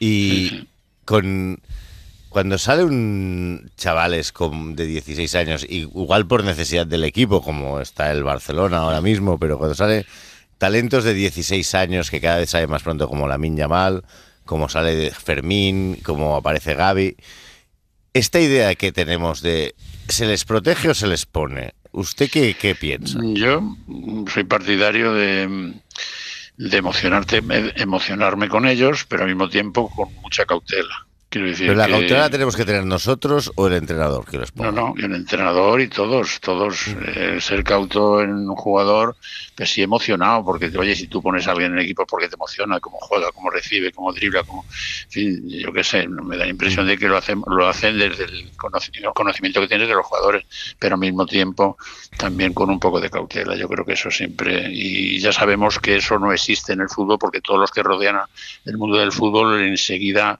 eh, en fin, eh, se vuelven locos con Fermín y con Hmm. San y San Pablo. Talavera. Sí, a, a mí me gustaría preguntarle Fermín, el del banderín. a, a Vic- a Vicente, porque él era un jugador fino y él, co- como entrenador, le ha gustado siempre el, el buen fútbol. Y quería preguntarle por Antoine Griezmann. Hace unos días teníamos un debate si ahora mismo era el, el- el mejor jugador de la liga y si por haber jugado en un equipo quizá no tan grande como otros europeos eh, no, se le ha reconocido eh, individualmente con premios o con galardones eh, su trayectoria después de liderar a la Francia campeona del mundo, después de estar en la final de la Eurocopa, en la final de otro mundial, siendo el líder para Deschamps y luego todo lo que ha hecho, que va camino de ser la leyenda más importante en números del Atlético de Madrid. No sé qué le parece a Griezmann como futbolista y si ha tenido poco reconocimiento, Vicente. Opino lo mismo que tú, pero yo creo que he tenido el reconocimiento de todo el mundo. Sí, sí. No sé, no, no quiero ser negativo. Me da la impresión de que eh, la gente del Atlético de Madrid está muy, muy contenta con él. Y ahí eso que a pesar que vino de, de otro club en el que parece que se había ido y que bueno, había alguna reticencia del- de la de la gente del Atlético de Madrid, pero sin embargo se la ha ganado y yo creo que todo el mundo le reconoce que es un jugador, un jugador muy valioso. Mm. Lo mismo juega como punta, que viene al medio campo a recibir, que ayuda en defensa, es, es muy completo. Hmm. Es muy completo. Y encima zurdo, que parece que son mejores todavía. Es verdad, los zurdos siempre no tienen algo ahí especial. Eh, mañana hay lista de Luis de la Fuente, que ya con, la, con la tranquilidad de que tenemos ya el billete para la Eurocopa el verano que viene. ¿Qué le parece? ¿Qué, qué pues pinta tiene la selección tendrá- Luis de la Fuente? que tendrá alguna duda porque tiene muy buenos jugadores, Hmm. Muy jóvenes, otros un poco más veteranos, pero yo creo que lo más importante es que Luis ha hecho un equipo y eso es fundamental. Un equipo de veintitantos o cuarenta, pero que luego tiene un equipo que eso, eso es básico. Hmm. ¿Le sorprendió que el otro día eh, en la entrevista que le hizo al- con Maroto en el diario AS des- dejase claro el asunto de Ramos? O sea, como queriendo zanjar el tema de yo hasta ahora cuento con otros jugadores y van por otros Bueno. derroteros. Pues él ha elaborado como cree que lo tenía que hacer, ¿verdad? Sin crear falsas expectativas, pero que también en el fondo un seleccionador muchas veces está obligado a decir que es un seleccionador, un jugador seleccionable más, aunque sab- sabemos que Sergio no es un cualquiera, pero sí que el seleccionador normalmente, pues oye, no puede decir, no, yo a este ya no le voy a llevar. Bueno, pero normalmente él ha tenido siempre bueno esa, esa palabra justa para salir de, una situación incómoda porque se- porque parecía que quería que volver a la selección Sergio claro. Claro, sí, sí, bueno, lo dijo públicamente. Pero tú siempre prefe- preferías decir que todos son seleccionables antes que descartar alguno públicamente, ¿no? En tu Pues caso. claro, hombre, decía, no, oye, pues, esta gente, Claro. este Vicente no lleva ninguno del Atlético de Madrid, no lleva a nadie, no lleva a nadie, no se quiere joder. Bueno, eso no ha entonces, cambiado ahora pues, tampoco, ¿eh? Con Luis de la Fuente. Que eso tampoco ha cambiado ahora con Luis de la Fuente. Bueno, es que hay algunos equipos que tienen muchos extranjeros también, no, creas que era decir, fácil para el seleccionador Exacto, llevar exacto. jugadores de, determin- de determinado equipo. ¿eh? Mm. Quiero decir esto que, que hay que que el seleccionador, pues primero que tiene que intentar llevar a los mejores, independientemente de dónde hayan nacido, de- independientemente del color de la camiseta que pon- se pongan, y valorarle y decir este debe de estar aquí, nada más. Pues nada, y parece que va a haber descanso para Muy bien. Pe- pa- parece que va a haber descanso para Pedri, que hay que cuidarlo, ¿eh? Un jugador como Pedri ahora saliendo de la lesión entre el Barça y la selección, vamos a ver. Sí, pero bueno, hay muchos jugadores en medio campo. Eh, yo creo que mm, el- seguramente el problema del seleccionador es de, de que tiene más jugadores de los que le permiten llevar, seguramente. Seguramente. Sí, pero yo, Vicente, perdone, ¿eh? Eh, recuerdo la última entrevista que le hicimos con usted aquí en el larguero que dijo algo que si no le interpreté mal me quedó en la cabeza. Es importantísimo que la selección y los clubes, los clubes y la selección tengan ese consenso necesario para no sobreexplotar a según qué futbolistas, que es lo que acabó pasando con Pedri. Y el otro día el doctor Ripoll nos dijo que en aquella sobre... utilización de Pedri pudiera venir aquellas lesiones de las que aún se está recuperando, ¿eh? Hombre, la obligación del seleccionador es traer a los mejores y también de cuidar de los de, de esos jugadores que lleva la selección y el cuidado de ellos, porque además le vas cogiendo afecto, no solo es para cuidarlo para la selección, sino cuidarlo también para su club. Pero bueno, eh, yo creo que ser eh, en eso los seleccionadores tienen cuidado, seguro, vamos, no no creo que a nadie eh, le vas cogiendo cariño y al final no lo no dices, joder, a mí que si está conmigo, ya ver, si el- luego el miércoles no puede jugar con el, su Mm, club, claro. pues se joroben. No, Mm. no creo que nadie piense eso, no creo. Pues nada, don Vicente, que es un placer siempre escucharle y hablar de fútbol un ratito, que eh, no deja de ser una alegría hablar de fútbol un rato con la que está cayendo ahí fuera, que nos tiene un poco preocupados a todos, ¿no? Sí, sí, señor, sí, señor. Un poquito, Bueno, un poquito preocupados. Cordialidad Exacto. y respeto, y respeto. Eso es. Un abrazo a todos. ¿eh? importante. Un abrazo, Gracias, Esther. ¿Cómo la gracias, gracias abrazo. Vicente, gracias. Un placer, como adiós. siempre. Hasta luego. Cordialidad y respeto. Casi nada, ¿no? Eso ha ido por Talavera claramente. Pero vamos. No sé qué equipo se Qué dos refería al palabras tan importantes. que ¿A qué equipo se refería? extranjeros. Ha dicho un momento en el que, a veces, claro, no es fácil no seleccionar nacionales porque hay equipos, ha dicho él, que tienen pocos. Ya te digo yo a qué- Pero no sé a quién se se refería porque No, te tampoco lo- te- te lo se digo puede yo estar para que no te a liga. No vaya a ser que te vayas a la cama y respeto. ¿Quién se refería? ¿A quién se Madrid. Es jueves y prima la cordialidad y el respeto. Pero vamos, que para que se vaya tranquilo a la cama Jordi Martí, se refería al Real Madrid. Bueno, oye, ha dicho, ha dicho, toda la cordialidad cuestión, y todo el respeto. Es una cuestión numérica, ¿no? Tampoco... Ha dicho sobre lo de Ramos que él prefería siempre sí. decir que todos y lo son dice seleccionables. Un ex seleccionador. Sí, sí, por eso, como él ha estado en ese o sea, puesto. Que, ¿no? que, tiene peso su, su opinión mm. y que él es partidario de no hacer esto. Eh, lo que eh, demuestra que los que decíamos que era un error de Luis de la Fuente, pues oye, hay más gente que piensa que esto fue un error y no cualquiera, un sí, ex seleccionador. Bueno, pero él, él, tampoco critica al otro seleccionador. No, pero, bueno, pero no, que él dice claro que, que no. esto no al se revés, suele Siempre que habla de él en público o en Totalmente. privado y en privado, él, de, lo ha hecho con exquisito. Él, hacía una cosa y respeta absolutamente Exacto. lo por supuesto, por supuesto. Eh, Javier Raez, hola, muy buenas.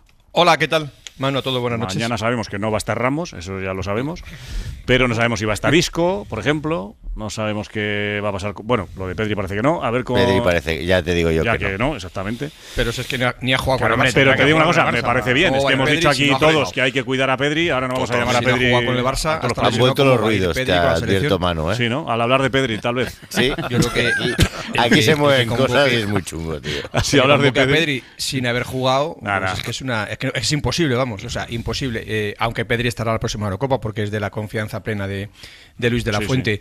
Bueno, me dicen que va a ser una lista continuista pues puede entrar Ansu Fati o puede entrar como novedad, yo que sé, Jeremy Pino, estará Lamin Yamal, eh, detalles, ¿no? Ojalá que estén futbolistas eh, como Remiro de la Real Sociedad que se lo merece, ¿no? Porque no está quepa por lesión en la portería, pero bueno, el titular va a ser Unai Simón, sí, sí. todos tenemos en la cabeza el once inicial de España, o sea, no va a cambiar con Laporte, con Lenormand, eh, puede bailar algún jugador, pero la, lo que es la columna vertebral del equipo, Rodri, eh, Gaby, yo qué sé, eh, Miquel Merino, mm, arriba Morata. Estamos tranquilísimos con la lista de mañana. Primero porque estamos clasificados y segundo porque hemos, hemos, conseguido lo que le pedíamos a Luis Grimaldo, que estaba anoche aquí en el, sí, Grimaldo. En el pues yo, yo, lo llevaría. Yo apostaría por Grimaldo también. Yo tengo, la duda yo, tengo la duda en el lateral izquierdo, pero no por Grimaldo. Yo, es un fútbol. Por Valde.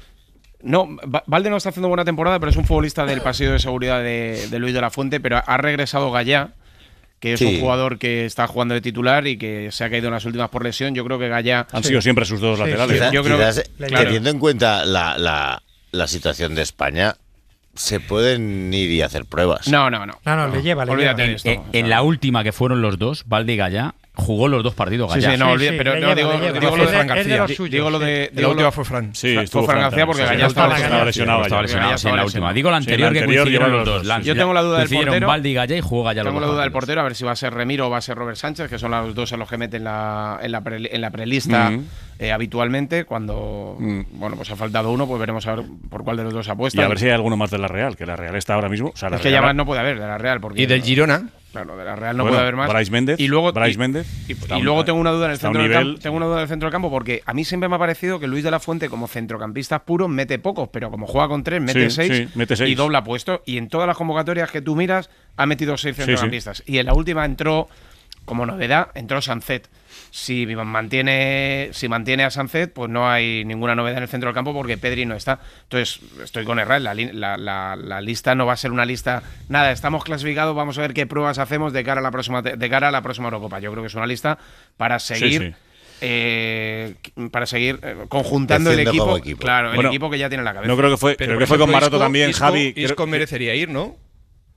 Si merecer puede o sea, merecer mucho. Cuando, cuando dijo cuando dijo, no, ya, pero cuando dijo cuando le, le dijo a Maroto, es que si llevo a Isco, ¿a quién quito? Pues por claro, por eso. Pero es que Isco, yo creo que tiene un grupo hecho. Sí, bueno, pero, MVP pero, ha sido Isco, cuántas veces. Isco merece. Seis, no, no, no, no, escúchame. No, es que, es que me hacéis mucha gracia. Porque Isco merece ir. Está diciendo Manu ha sido el mejor de la liga hasta la fecha. Español. Que 10 o 12 parecen pocos.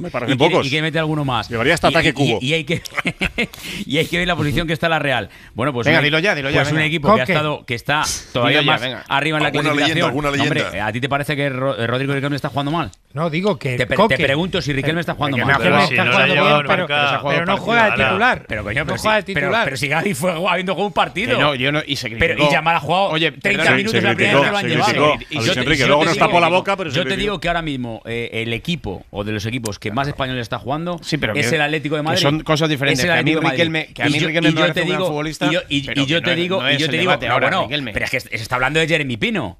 ¿de qué estamos hablando? No, ¿De qué estamos hablando? Yo te digo que, y bueno, y, y escúchame, si y antes del cachondeo. hablando de Jeremy Pino, porque Jeremy De Pulido. No, creo que haya, como tú que. No creo, que habido muchos centrocampistas de una lista a la otra que estén jugando mejor que Coque. Pero te lo estoy diciendo. Que estén jugando mejor que ibas a decir Coque. Entonces, bueno, es que no, nos sorprende que no vaya Isco, nos sorprende que no vayan más jugadores de la Real. Los jugadores del Girona. El Atlético de Madrid, si gana en Las Palmas, hubiera colocado líder.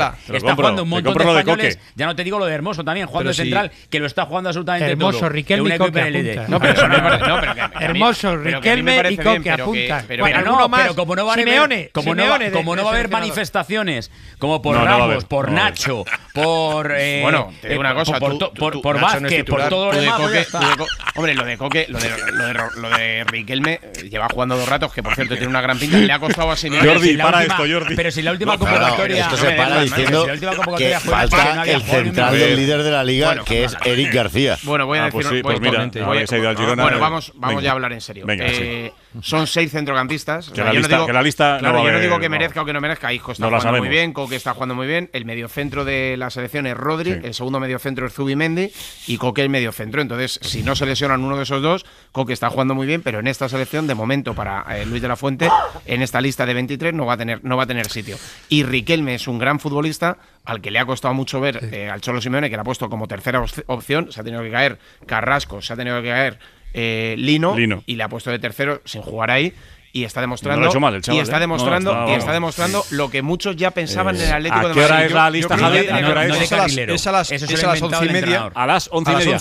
11 y media eh, por redes sociales, a las 12 y media la rueda de prensa. Y solo quería decir una cosa por sobre favor. el tema de la selección siempre, que es una cosa que la dijo del Bosque, o sea que no es mío, mm, la ha hecho Vicente del Bosque.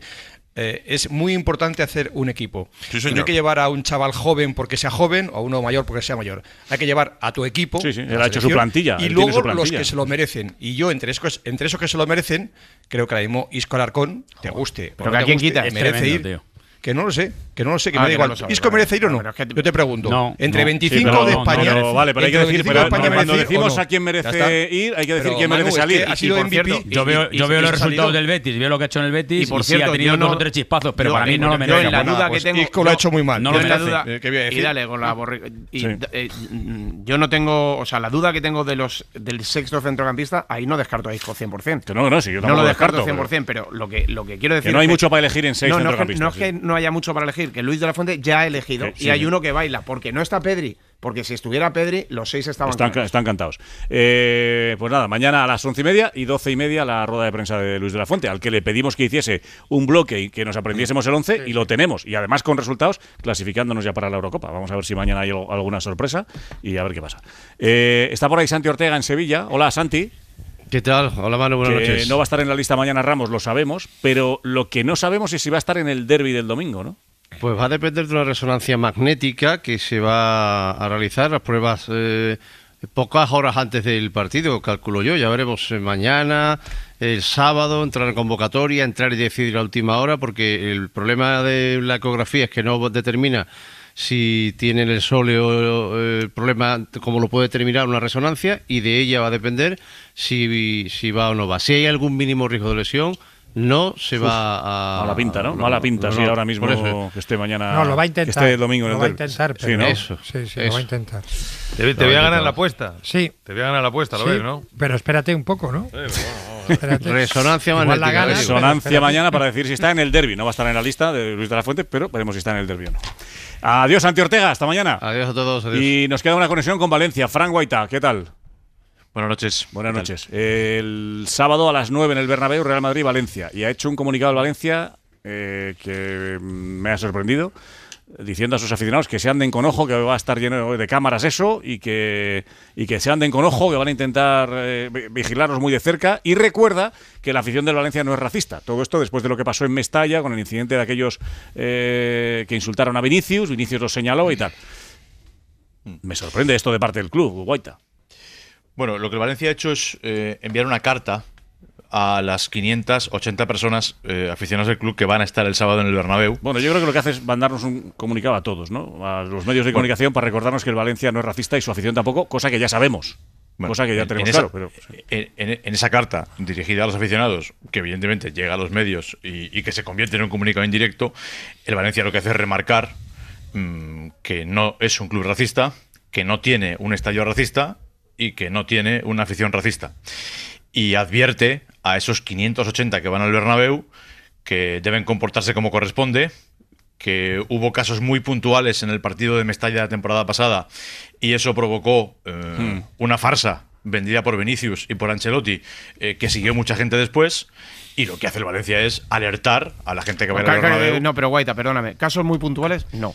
No fue generalizado, pero tampoco casos muy puntuales. Lo que se produjo en la puerta, no, no vamos a volver, pero como remarcas casos muy puntuales, yo, yo que estuve allí te remarco, dije, claro. Es que yo yo estaba allí, yo Yo, estaba también, allí. yo también a tu lado. Bueno, un placer pues, para bueno, mí. nada. Pero Yo- sabes, pues, sabes que no pues, fueron casos muy puntuales, no fue generalizado. No, no, yo sé, yo sé que fueron casos puntuales. No, pues entonces estás, eh, si tú miras las, si tú miras las imágenes, No, no, eso la no entrada- tengo nada que mirar, Antonio, si es que estaba allí. No, yo también, Guaita, no, Ya, pero ya, yo también. pues Yo también, y no fueron casos, y no fueron pues dos casos pues- puntuales. Pues Es si no Manu me llama para entrar y yo entro para contar lo que pasó, yo cuento lo que, que viví. eso fue hace dos y es que meses. fueron casos puntuales. Pero hay- hay- aquí hay una cosa Lo que, lamento. Es, que es significativo. que No, lo sí. lamento, no, no es verdad. Hay una cosa Eh, no, bueno, eso dices tú. Claro, claro. Bueno, Eh, pa- mi, mi- mi verdad que estaba allí es que fueron casos puntuales. Correcto. En Mestalla Hay- caben 50.000 personas y fueron casos puntuales. Hay una Tres cosa- en concreto que el club expulsó de por vida esa noche. Hay una cosa Esa es la realidad de lo que pasó. significativa- Hay una cosa significativa Bueno, en pues la, es la en que yo carta. cuento. A ver, Gallego. Hay una cosa significativa en la carta. Cuando tú le tienes que decir a alguien, compórtate bien, no hace falta que le digas que te están grabando. A mí me parece que sobra, sinceramente. Tú, tú cuando tienes que decirle a alguien, pórtate bien, le dices, pórtate bien. No, pórtate bien porque te van a estar grabando. porque, yo- hay que, porque hay que portarse bien siempre. Claro. Cuando te graban y cuando Yo no es te que creo que esa carta me parece que va con un poquito de retranca. Totalmente. Y, Yo que, creo no, que- y que no es a sus aficionados. O sea, que va a sus aficionados, vale. no. pero que en el fondo no va a los aficionados. utilizan a los exactamente. aficionados para no veo al Valencia, mensaje para todo No veo al. Valencia Claro, leyéndole la carta Y que- antes de acostaros, tomaos un vaso de leche si con no hubiera cámaras- y cuidado que te van a grabar en el estadio. Hombre, si no. no, o sea, hubiera eso- cámaras no había que advertirlo. ¿o? Claro, exactamente. No, no, no, es que no habría. Yo creo que el Valencia lo que nos está diciendo a todos es, os recuerdo que no tenemos una afición racista, que van a ir al Bernabéu y que no son cosa que repito, ya lo sabemos. Es que no tenemos ninguna duda que la afición del Valencia no es racista, que hubo tres gilipollas o, o cuatro o catorce que dijeron lo que dijeron, se les identificó y les expulsaron. Pero es que hubo un señor que se llama Vinicius, que en sus redes sociales Bueno, dijo todo. Mestalla me ha llamado Y mono. eso es Y eso ha tenido un recorrido, queráis o no. Cierto, cierto. Eso ha dolido mucho eso en es verdad Valencia. que tuvo un Es que recorrido. eso es menti- es que eso- correcto. es que eso y por eso hace el comunicado el Valencia. ¿El, el que es mentira, Antonio? Lo ¿El que dijo mentira? Vinicius. Ah, bueno, pe- pero, pero, Claro. se, ha- Es que no pero fue- se ha dicho, no. Bueno, no, es lo que pero se ha filtró dicho un mucho más. No, eh, pero no, se, pero se ha dicho mucho más. Se ha dicho mucho más. Mucho más. que, que todo Mestalla racista, No, que, que no es mentía. Eso, eso mucho aquí, más. Eso aquí Bueno, no se ha dicho. Eso Bueno, aquí, que es la cadena ser, no se ha dicho. No, en la cadena ser, yo por ejemplo, cuando he podido, he dicho que Vinicius Bueno, mentía. Tú puedes siempre, Yo lo he es tu dicho. casa. Por eso es que, Claro, no, es bueno. que pero, pero entre, pero entre decir que lo que dijo Vinicius de todo Mestalla y que fueron dos casos puntuales, hay un término medio. No, yo no digo dos. Digo casos puntuales. Es que había Has dicho dos o 45.000 tres, personas. perdona, has dicho dos o no, tres no, casos no, no, no, no, no, no tergiverses lo que digo. He dicho que el Valencia expulsó a tres y que fueron casos puntuales. Eso es lo que he dicho. Eh, dicho queda y entendido queda el comunicado del Valencia. Eh, para terminar, que acaba el Sanedrín, quiero que escuchéis esta explicación de un segundo entrenador de fútbol del español. Me imagino que la habéis oído casi todos. Eh, Bueno, una cosa es oírla, la otra es entenderla. Otra es entenderla. Poneos, por- eh, para terminar con un poco más relajados el Sanedrín. Eh, me imagino que la habéis visto casi todos y los que nos estáis escuchando, si no sabéis de qué va, es eh, Mario Fernández, segundo entrenador del español. Estaba con Luis García, segundo entrenador del español, ahora ya no están. Y en una entrevista a pie de campo, le está entrevistando la televisión in- inalámbrico, oye, el rival que viene ahora tal, y ojo a la explicación que tiene pelotas. Tenemos claro que la génesis de su buen rendimiento eh, pasa por un muy buen momento con, con balón. Eh, meten mucha gente interior, tienen dobles ubicaciones en las cuartas alturas, además de tener mucha acumulación, son asimétricos porque la segunda y la cuarta son ubicaciones tendentes más al perfil izquierdo, pero la tercera tendente al perfil derecho, lo que les lleva a progresar con mucha facilidad por los dos perfiles, son capaces de progresarte con tu orientación y contra tu orientación, con las orientaciones cercanas porque tienen pie en la base y me lejanas porque ya sabéis, tienen gente como Arbilla que te puede buscar las diagonales y encontrar o el profundo del lado, el profundo del lado contrario fácilmente.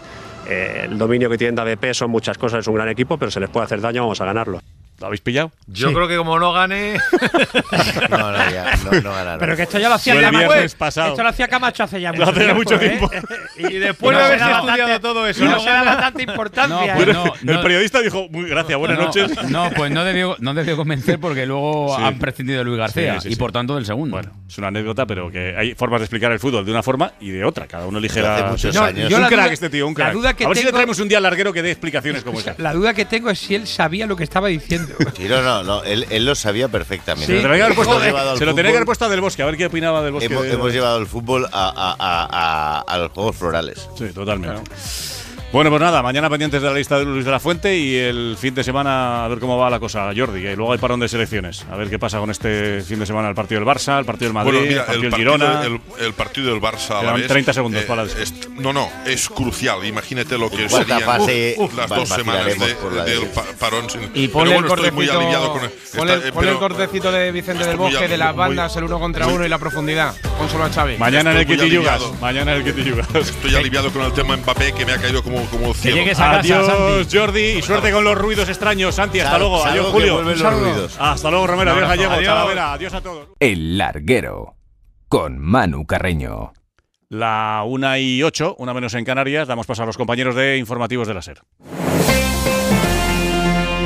Estaba Alfonso Gea, con el que ya hablamos en torno a las 12 de la noche, pendiente de la última hora de eh, detenidos en esas protestas eh, frente a la sede del PSOE en la calle Ferraz. Eh, última hora, ¿con qué novedades? Alfonso, hola, de nuevo. Bueno, las novedades son, la principal es que ya han terminado los incidentes, ya el barrio, el barrio madrileño de Argüelles está evidentemente tranquilo, ya pueden descansar los vecinos, pero han sido momentos muy dramáticos por varias veces ya en los últimos siete días los que está viviendo este madrileño barrio de Argüelles y de Moncloa. Tenemos la cifra provisional, esta cifra que vamos a dar sin Sí. duda se va a incrementar en las próximas horas. Van 14 detenidos, en su mayor parte, como antes os comentábamos, por la acción de los policías camuflados de la Brigada Provincial de Información, de sus compañeros también de la Comisaría General de Información y, por supuesto, por la Brigada de Policía Judicial.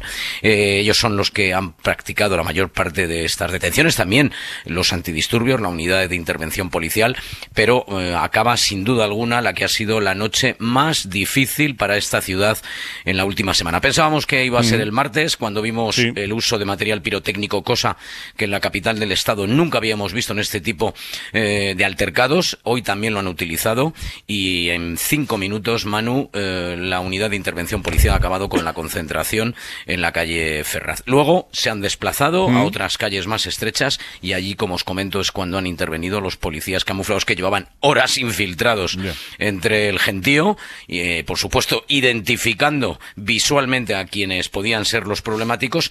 14 de esos problemáticos están ahora en las instalaciones eh, de la comisaría de Moratalaz, del barrio madrileño de, Morata- de Moratalaz, ya en los calabozos para ser interrogados. Pueden no. eh, eh, una pregunta es su derecho constitucional y próximamente, posiblemente pasado mañana, el, el domingo, a más tardar Sí. el lunes eh, o el sábado, pasen ya a disposición judicial con los delitos de desórdenes públicos, de atentado a la autoridad. Bueno, tienen por delante un procedimiento penal que les puede acarrear entre cuatro y seis años de prisión. Gracias, Alfonso. Mañana más. A vosotros, un Hasta fuerte luego. abrazo. Hasta mañana. Una y once. Vamos a Yanquilandia. José Antonio Ponsetti, muy buenas. ¿Qué tal? Feliz madrugada ya, ni, ni sintonía Sí, ni nada. no, no, Viene es que- Alfonso Gea y no, me borra del, te del iba- mapa. te iba- te iba a preguntar- que me hayan detenido a mí, tío. Pues no, no lo digas muy alto. Te iba, te iba a decir que después de la ráfaga de informativos, y te iba a decir, ¿soltamos la de Bruce Springsteen, la de Miami o otra que tiene de Miami Noema Valido, nuestra La que técnica de quiera sonido? Noema, por favor. Pues Noema, Noema, tú decides. Dale Es que esta- Estamos, ahí estamos, en Miami. Muy de Miami. las muy de Miami. Hola Héctor González, muy buenas. ¿Qué tal? Muy buenas, me encanta esta sintonía. Hombre, Sí, Héctor, ¿qué señor, tal? sí, ¿Has señor. salido vivo de la montaña? He hijo? salido vivo, no me tuvieron que trocear afortunadamente porque no, no Una tuve pasada, que ¿eh? subir. ¿Pero has eh, la subido algo o no has subido nada? Hice una parte hasta que llegó la nieve y el hielo, que ya subieron las, las cinco chicas, eh, Laura y Yolanda, que estaban aquí. Estuvieron aquí, sí, sí, antes de empezar el reto Pelayo. Ana, Kika y Sonia completaron ese reto Pelayo Vida en la, bueno. en la Patagonia de forma exitosa. Pasaron mucho frío, los pies un poco congelados, Joder. un poco de deshidratación. ¿Tu Pero bueno, tobillo qué tal? ¿Tu tobillo? Mi tobillo bien. ¿Aguantó bien? Bien. Sí, tampoco lo forcé al máximo, así que. pero bien. Y, o sea, has hecho un ser aventureros. He hecho un ser aventurero, sí, señor. Bueno, bueno. Pues nada, Ponce, este es un persona. todoterreno, ya lo sabes. Ya, ya, este es un, es un máquina. Oye, hazme un favor, dile, dile a Sí. Benito que me está volviendo loco por Caco que Sí. mi cámara está activada, que si no me ve es que no me ve. Eh, pero está activada mi la cámara cámara. está No, activada. no, me dicen que no está activada. Bueno, Eh, pues yo, yo dile que sí que estoy activado, que me veo yo perfectamente. O sea, que ellos sabrán Que lo tú estás están activado, no tengo ninguna duda. Que tú, Claro, estás, pues tú pero- estás activado 24 horas. Pero la cámara es lo que tenemos dudas. Si está A, saber, a saber el enlace que me han mandado que debe tener Ay, ese ahora sí. Ahora resulta que sí, ¿no? Ahora sí. Te digo una cosa, casi prefería cuando no estaba activada. Pero bueno. Yo también, claro, porque a estas horas se me ve como se me ve. Mira, me estoy rascando el ojo. ¿Me, me ves bien o, Te o veo, me bien. la veo un poco? te veo, te veo como nunca. Oye, ¿qué pasa? ¿Qué se cuece por ahí? ¿Qué? Con la música de esta de Miami, Pues Yanquilandia. mira, eh, eh, háblame de Miami porque Miami ha estado de visita en Frankfurt, que jugábamos contra Kansas City, eh, contra los Chiefs y bueno, la verdad es que ha sido un exitazo el partido. ¿Te, te acuerdas que te conté que en, que en nada, que en los primeros cinco minutos de ventas de entradas que Desaparecieron que todas, sí, 80.000, sí, sí. ven- eh, ah, se, se- y pasaron a intentar comprar entradas 3 millones de personas y bueno, eso, eso ha sido sin ninguna duda eh, el éxito que ha llevado a la ciudad, a Frankfurt, a cientos de aficionados Sí. y, y que han estado ahí a Bueno, tope, han- 50.000 entradas, ¿no? El aforo, Sí. vamos. Sí, eh, es que esta vez era, digamos, que no ha venido. A ver, nunca vienen comparsas, pero es que esta vez era segundo y cuarto, ¿no? O sea, que es un, es un partido de dos equipos de la zona alta de la clasificación, ¿no? Claro, segundo y cuarto de la, no, de la americana, ¿no? De la claro que encima los dos equipos llevaban seis victorias y dos derrotas y que, que era muy era un partido muy importante, muy importante. Mm. Eh, Miami eh, perdió, pero dio buena muestra de que puede plantar cara en ese partido. Estuvo a punto de en la última jugada estuvo a punto de empatar el partido. O sea, que, encima emocionante y todo. ¿no? Sí, sí, estuvo chulo y, y emoción a tope. Este fin de semana también en Frankfurt estará en Indianapolis y estará frente a New England Patriots. Sí. Pero seguramente no van a va, va, va a estar bien el partido, a ver, lleno seguro, pero no van a mover quizá todo ese gentío que movió Mahomes y, y la gente de, de los Dolphins la semana pasada. Es que es sorprendente Ponce como una ciudad que mueve tanto en Alemania como es Frankfurt, eh, que tiene un gran equipo de fútbol con mucha afición, es capaz durante un fin de semana de engalanarse. Eh, contaba, he leído, por ejemplo, Iker Sagasti, que ha estado allí eh, pasando el fin de semana, que la ciudad con merchandising por todas las esquinas, toda la gente pendiente del partido. Y es verdad que Alemania es un país que tiene algo más de tradición que el resto de países europeos de, Fíjate, de no me, no, me, no me pegaba a mí que en Alemania tuvieran esa afición al Sí, fútbol americano. sí, sí, sí. Me ha ¿Sabes qué sorprendido. He leído Que- que, casi 4 millones ¿no? de alemanes Claro, siguen el ¿sabes fútbol qué americano. pasa? Que al final, acuérdate que terminada la. Segunda Guerra Mundial, sobre todo en la parte que quedó eh, en la parte aliada y no en la parte Sí, rusa, sí. eh, había un montón de bases y había un montón de americanos, de norteamericanos, y, y eso hizo que los alemanes entraran mucho en, en esa Ya, ya, vida, ¿no? en la NFL. Bueno, pues nada, Sí, sí. exitazo de audiencia, de aforo, encima partido segundo contra cuarto. Pues muy Total. bien. ¿Y a España cuándo va a tocar? Que ya te oí el otro día en Carrusel Pues, también, que estamos o- cada vez más cerca, est- ¿no? Estamos ahí, o, o nos toca en el 24 o nos toca en el 25. La decisión está en puertas de que caiga. Eh, entre Brasil y nosotros estará, si a Brasil le llega el partido ahora en el Sí, 2024, sí. que ya Para acá, el ser- 25. Ah, exacto, a Madrid el 25. o ¿Y sea, te oí que puede así. haber más opciones en el Metropolitano que en el Bernabéu? ¿O eso está por, por No, decidir? ahora mismo eso es un Eh, empate. Eso está por es hablar, un ¿no? empate. Vale. Es que el, el- el- el jaleo, entre comillas, Manu, uno de ellos, hay varios, Sí. pero uno de ellos viene en todo el montaje que hay alrededor del estadio. Que, que en el Bernabéu entiendo, eh, pero que se ha hecho porque lo hemos visto, se tendría que cerrar partes de la castellana probablemente, porque te acuerdas, por ejemplo, eh, la Libertadores entre Boca y Sí, River sí. y se cerró porque se puso al aficionado de Boca en un lado y a, y a la de River en otro. Entonces, bueno, puede ser que, que se monte una movida así, pero insisto, el, el- el Wanda está empatado ahora mismo. O sea, ahí están viendo a ver Bueno, en- en pues nada. cuál de los dos estadios termina esta historia. Y, pasar- y pasará como en Alemania. Aquí cuando saquen las Sí, entradas sí, a la venta claro. para Madrid, se llenará Va- el estadio, va- vamos, va no ser- quedará una va a entrada. ser muy bonito, va a ser una ya lo pasada, verás, sí. va a ser muy bonito. Fíjate que hoy, hoy ahora mismo, eh, tengo a Iker y a Javi, que hemos hecho un, eh, por Instagram un directo hace nada. Sí. Les tengo en, en Chicago, en el Soldier Field, porque Joder. el día 19, el domingo, hace- hacen los Chicago Bears una fiesta en Madrid, porque Chicago va a ser el equipo local. cuando sea, el año que viene o el otro. Ah, Chicago eso está ya confirmado. local. Está confirmado que Bueno, es eso- Chicago. Eso, eso, si no se ha dicho, te lo digo yo. Vale. Pero Chicago va, va a ser equipo local en, en Madrid.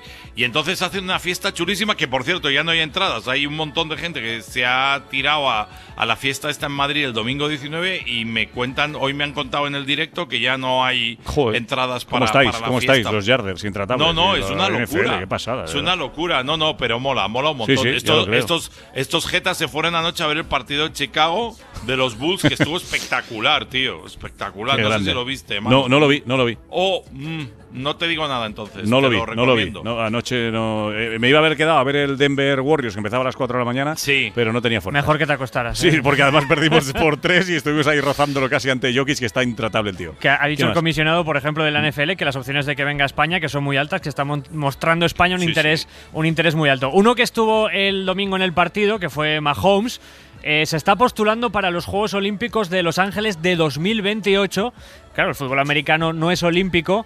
Quiere Mahomes participar en el eh, flag football, esta nueva disciplina Ah, sí, que entra en para los nuevo- Juegos de, de Los en Ángeles. el fútbol 7 de fútbol americano. Claro, Más en el fútbol pequeñito de fútbol Bueno, americano. no, ma- ma- más que fútbol pequeñito, Sí. la, la historia está en que no hay contacto físico como tal, Es no hay un pañuelo, ¿no? sino que hay pañuelos y hay de pillar. Sí que hay golpes, pero no, no Ya. es nada es quitar la cinta, de la, Sí, sí. la llevas en la cintura y quitar la Claro. cinta. Sí. Pero escúchame O sea, un que- deporte, no, iba a decir, pero no lo digo. Venga, sí, un deporte. Sí, sí, es un deporte, como Dios manda. sí, sí, eso Pero que Mahomes abre una puerta a un Dream Team de fútbol americano porque ya son varios los jugadores de élite de la NFL que quieren Pero estar en eso. Que se hayan cargado el karate como deporte olímpico, por ejemplo, digo yo, ¿eh? O algún otro deporte que había por ahí espectacular. El fútbol Pero sala no- que nunca no- entra, no por te vas a ejemplo. quejar del flag football, que te estoy viendo No, a mí me encanta, el- eh, o sea, me estoy intentando aficionar al fútbol americano y ahora vienen con el flag football, que es esto del pañuelo. El pañuelo, el pañuelo es otra cosa que jugábamos de pequeños. El fútbol americano es el fútbol americano, Ponce, ¿o no? O, Que eh, no, que no, que ¿No? mira Está bien, vale, vale. de flag football Los y veré, te gustará, le pondré interés caso. al flag football. Lo único. Ponce, no sé, eh, las franquicias de fútbol americano si van a permitir a todos esos jugadores, por ejemplo a Mahomes, que es una de las grandes estrellas de la liga, que cobra ese pedazo de sueldo, Pero ir a los juegos a es- riesgo de es, lesionarse. lo mismo que la NBA. Claro, exacto. Cuando montaron el, el lío, yo creo que se lo van a permitir. Y, y espérate que hay un detalle importante. Eh, 2028 es Los Ángeles, si no me equivoco. Entonces, Sí, ojo. vamos eh. a ver. Bueno, Estados y Unidos querrá ganar de, eso. y de Los Ángeles a Las Vegas, ¿no? A Las Vegas está calentando ya el Gran Premio de la semana que Semana viene. que viene. La que va a penúltima, ser- ¿no? Penúltima La carrera. penúltima va a ser la carrera del domingo a las 7 de la mañana horario español. Esto es el sábado por la noche en Las Vegas. Se va a montar eh, una previa increíble con, con pilotos, con todo tipo de deportistas. Y Ponce Ferrari va a estrenar, eh, bueno, va a reformular un poco sus colores, con sus colores, sí, Ah, sí. Va a ser permanece el, el, más rojo, bonito, ¿eh? El pero más bonito. No va a ir de aparece rojo, el blanco, no va a ir de rojo. pero aparece mucho blanco, ¿no? Ponce? Homenaje No, al está- Atleti, un está- poco al Cholo. Está muy chulo, Manu, de verdad. Rojiblanco Mírate- Ferrari, pero bueno. Sí, sí, está muy bonito. Sí, está A mí bonito. me, me Vale. gusta muchísimo, Vale, me gusta vale. muchísimo. Ah, pues lo Un veremos. a poco ver. como los Ferraris de los años 70, de, de Sí, Lauda. pues, Sí, sí, tiene un rollo Sí, retro, tenía un, un rollo un buen sí. trocito blanco del, del coche. Y van a jugar también eh, jugadores de golf, un torneo con pilotos de Fórmula 1. Ah. Un torneo de un torneo de, de golf. Carlos Sainz incluido. un que torneo le, de golf. ¿Qué tal le le da, gusta Carlos? mucho. No lo he visto. Le da bastante bien. ¿Se le Hombre, bien? no, Le no es, un- bien, le no es Rafa bien. Nadal, por ejemplo, Sí, sí. hablando de deportistas españoles, pero Se le le maneja da bien, ¿no? bastante Se bien. maneja bien. También le pega a Pau Gasol, Carlos Bueno, Alcaraz, bueno, pues uno nada, de no los se lo pierdan en sus mejores pantallas. Eh, no sé qué hora es en... ¿Dónde está Mela Chércoles? En Malasia, en Malasia. ¿Qué hora es en Malasia? ¿Las serán las 7 de la mañana o las 6 Las más? tantas, 7 más, serán las 7 más. Las 8 y 20 de la mañana. Eh, Vs y ráfagas, Mela Chércoles, muy buenas. Vs y ráfagas, compañeros. Efectivamente, aquí son las 8 y 20 de la mañana, luce el sol. Uh, me tenía que haber quedado pasado, ¿no? después. Sí, sí, sí, Ponce. Me tenía que haber quedado después de Tailandia ¿Estás eh, aquí por esta zona del mundo. El aire acondicionado del avión, de los hoteles, Ah, de la sí. sala de prensa, la me está tocada, matando. sí, sí. Te lo garantizo que sí, que es eso, Ponce, esta vez. Lo Que sí, que lo sé, lo sé. Sé que la humedad. Te garantizo que es eso esta vez. Esta vez. Está bien ese matiz. Si hubiéramos hablado, si hubiéramos hablado hace dos semanas en Tailandia, te hubiera podido decir que fue una noche loca de Bangkok, pero aquí no. Pero ya no. Aquí Esta vez llegué ayer. Puede garantizarme la que ha sido el aire acondicionado esta vez. Y te digo una cosa, esto puede marcar la diferencia entre algunos pilotos, ¿eh? porque Jorge Martín es Sí. de los que ha optado por quedarse después de Tailandia en Bali de vacaciones, pero entrenando como un loco junto a Alexis Espargaró, mientras que su gran rival, Peco Bagnaya, ha optado por volver a Italia, entrenar en casa Ya, es y regresar de nuevo a Malasia digo- y tiene el jet lag a cuestas, mientras que Martín está perfectamente acoplado y adaptado a esta zona del mundo. Es que te digo una cosa, te, te lo digo en serio, Mela. eh, ahí es imposible no cogerte un. O sea, 40 grados sales del hotel o de donde sea, te Y metes al hotel y hay lo 10 bestia. bajo cero. O sea, entras al hotel y tienes que entrar con un plumas. Y sales a la calle y hay locura. 40 grados. O sea, es que si no te ponen malo es un milagro. Y la semana que viene en Qatar lo mismo. Lo que pasa es que Sí, ya igual, nos iremos acercando al uso horario europeo. Allí Ya. serán solamente dos horas de diferencia. Aquí además es que el jet lag eh, pasa factura a la gente, no solamente el aire Claro, acondicionado. eso Tenía ayer eh, Martín una cara extraordinaria, eh, súper moreno, más bronceado que nunca. Eh, Martín, eh, Bagnaia estaba con el gesto pues algo más, más cansado en el rostro. Y un Martín que recordemos que llega a 12 más 1 puntos de, de Peco Bagnaia después de la exhibición de Tailandia hace dos semanas, donde logró el doblete. Está en un estado de forma extraordinario, está muy centrado. Le ha venido muy bien este parón de una semana porque reconoce que acabó machacado a nivel mental tras las tres citas anteriores seguidas. Y bueno, tiene el objetivo clarísimo, Martín, para este fin de semana. ¿eh? Mm, Pese, o sea, bueno, va- vamos a escucharlo directamente. Venga, a él. vamos a verlo. Me hubiese gustado correr directamente todas ya del tirón y, y quitárnoslo del medio, pero, pero bueno, con ganas, he entrenado bastante, creo que el haberme quedado me ha ayudado a entrenar con calor también, o sea que estoy bastante habituado a las temperaturas. No, el objetivo es recuperar puntos, me da igual si son 3, 4 o 10, pero hay que ir acercándose y yo creo que será súper importante salir líder de... El que salga líder de Qatar es el que tiene más, más posibilidades de ganar.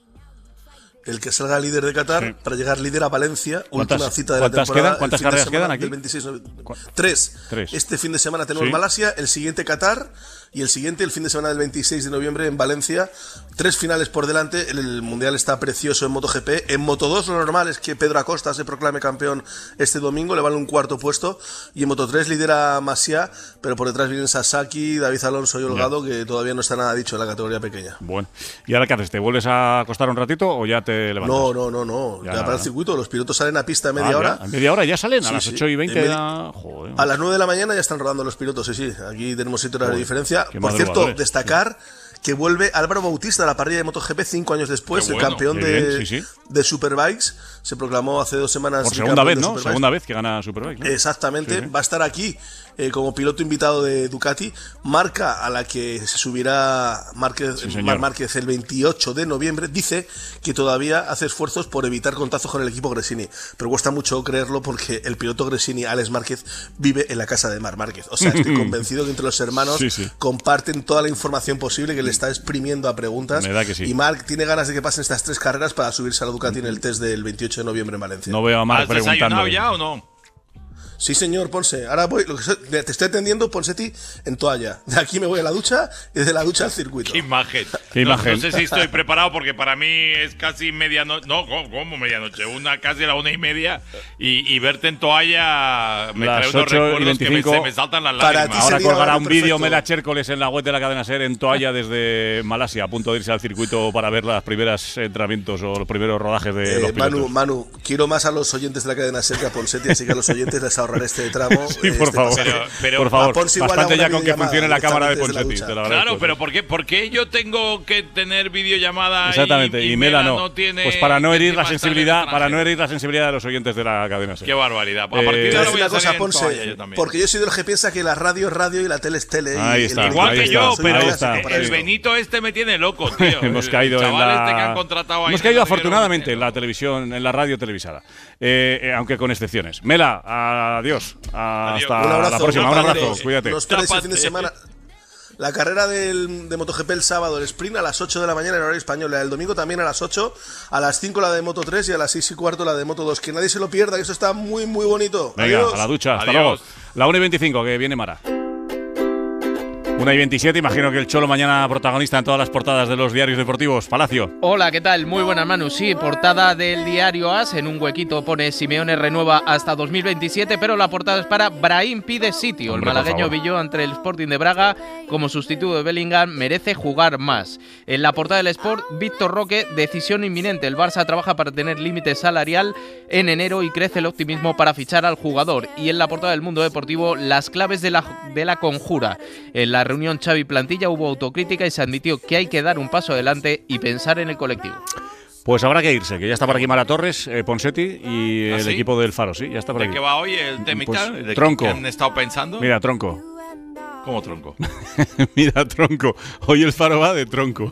Ahí está, ahí está lo que les ha pasado, que les han dado tantos premios que se les ha subido el tronco a la cabeza, colega. Pero ¿cómo que van a hacer un programa de tronco? Yo lo hubiera hecho de tronqui, pero esto es tronco. Es- pues, eh, está la cosa en Madrid como para ir empujando los troncos por la calle, que, Voy a ver si no encuentro ningún tronco por que haya entre, entre troncos y tronchos, ahí hay de todo. Nos vamos, que viene ¿Te vas? Yo me voy, sí, pero. Descansa, como- por como favor, descansa. Muchísimas descansa gracias. Ponsetti. Te y, mando una- ánimo, y ánimo a las chiquillas del tronco. Un abrazo muy grande.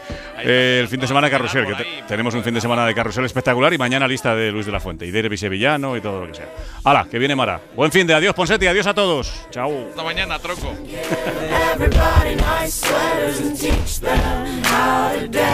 Para no perderte ningún episodio, síguenos en la aplicación o la web de la SER, Podium Podcast o tu plataforma de audio favorita.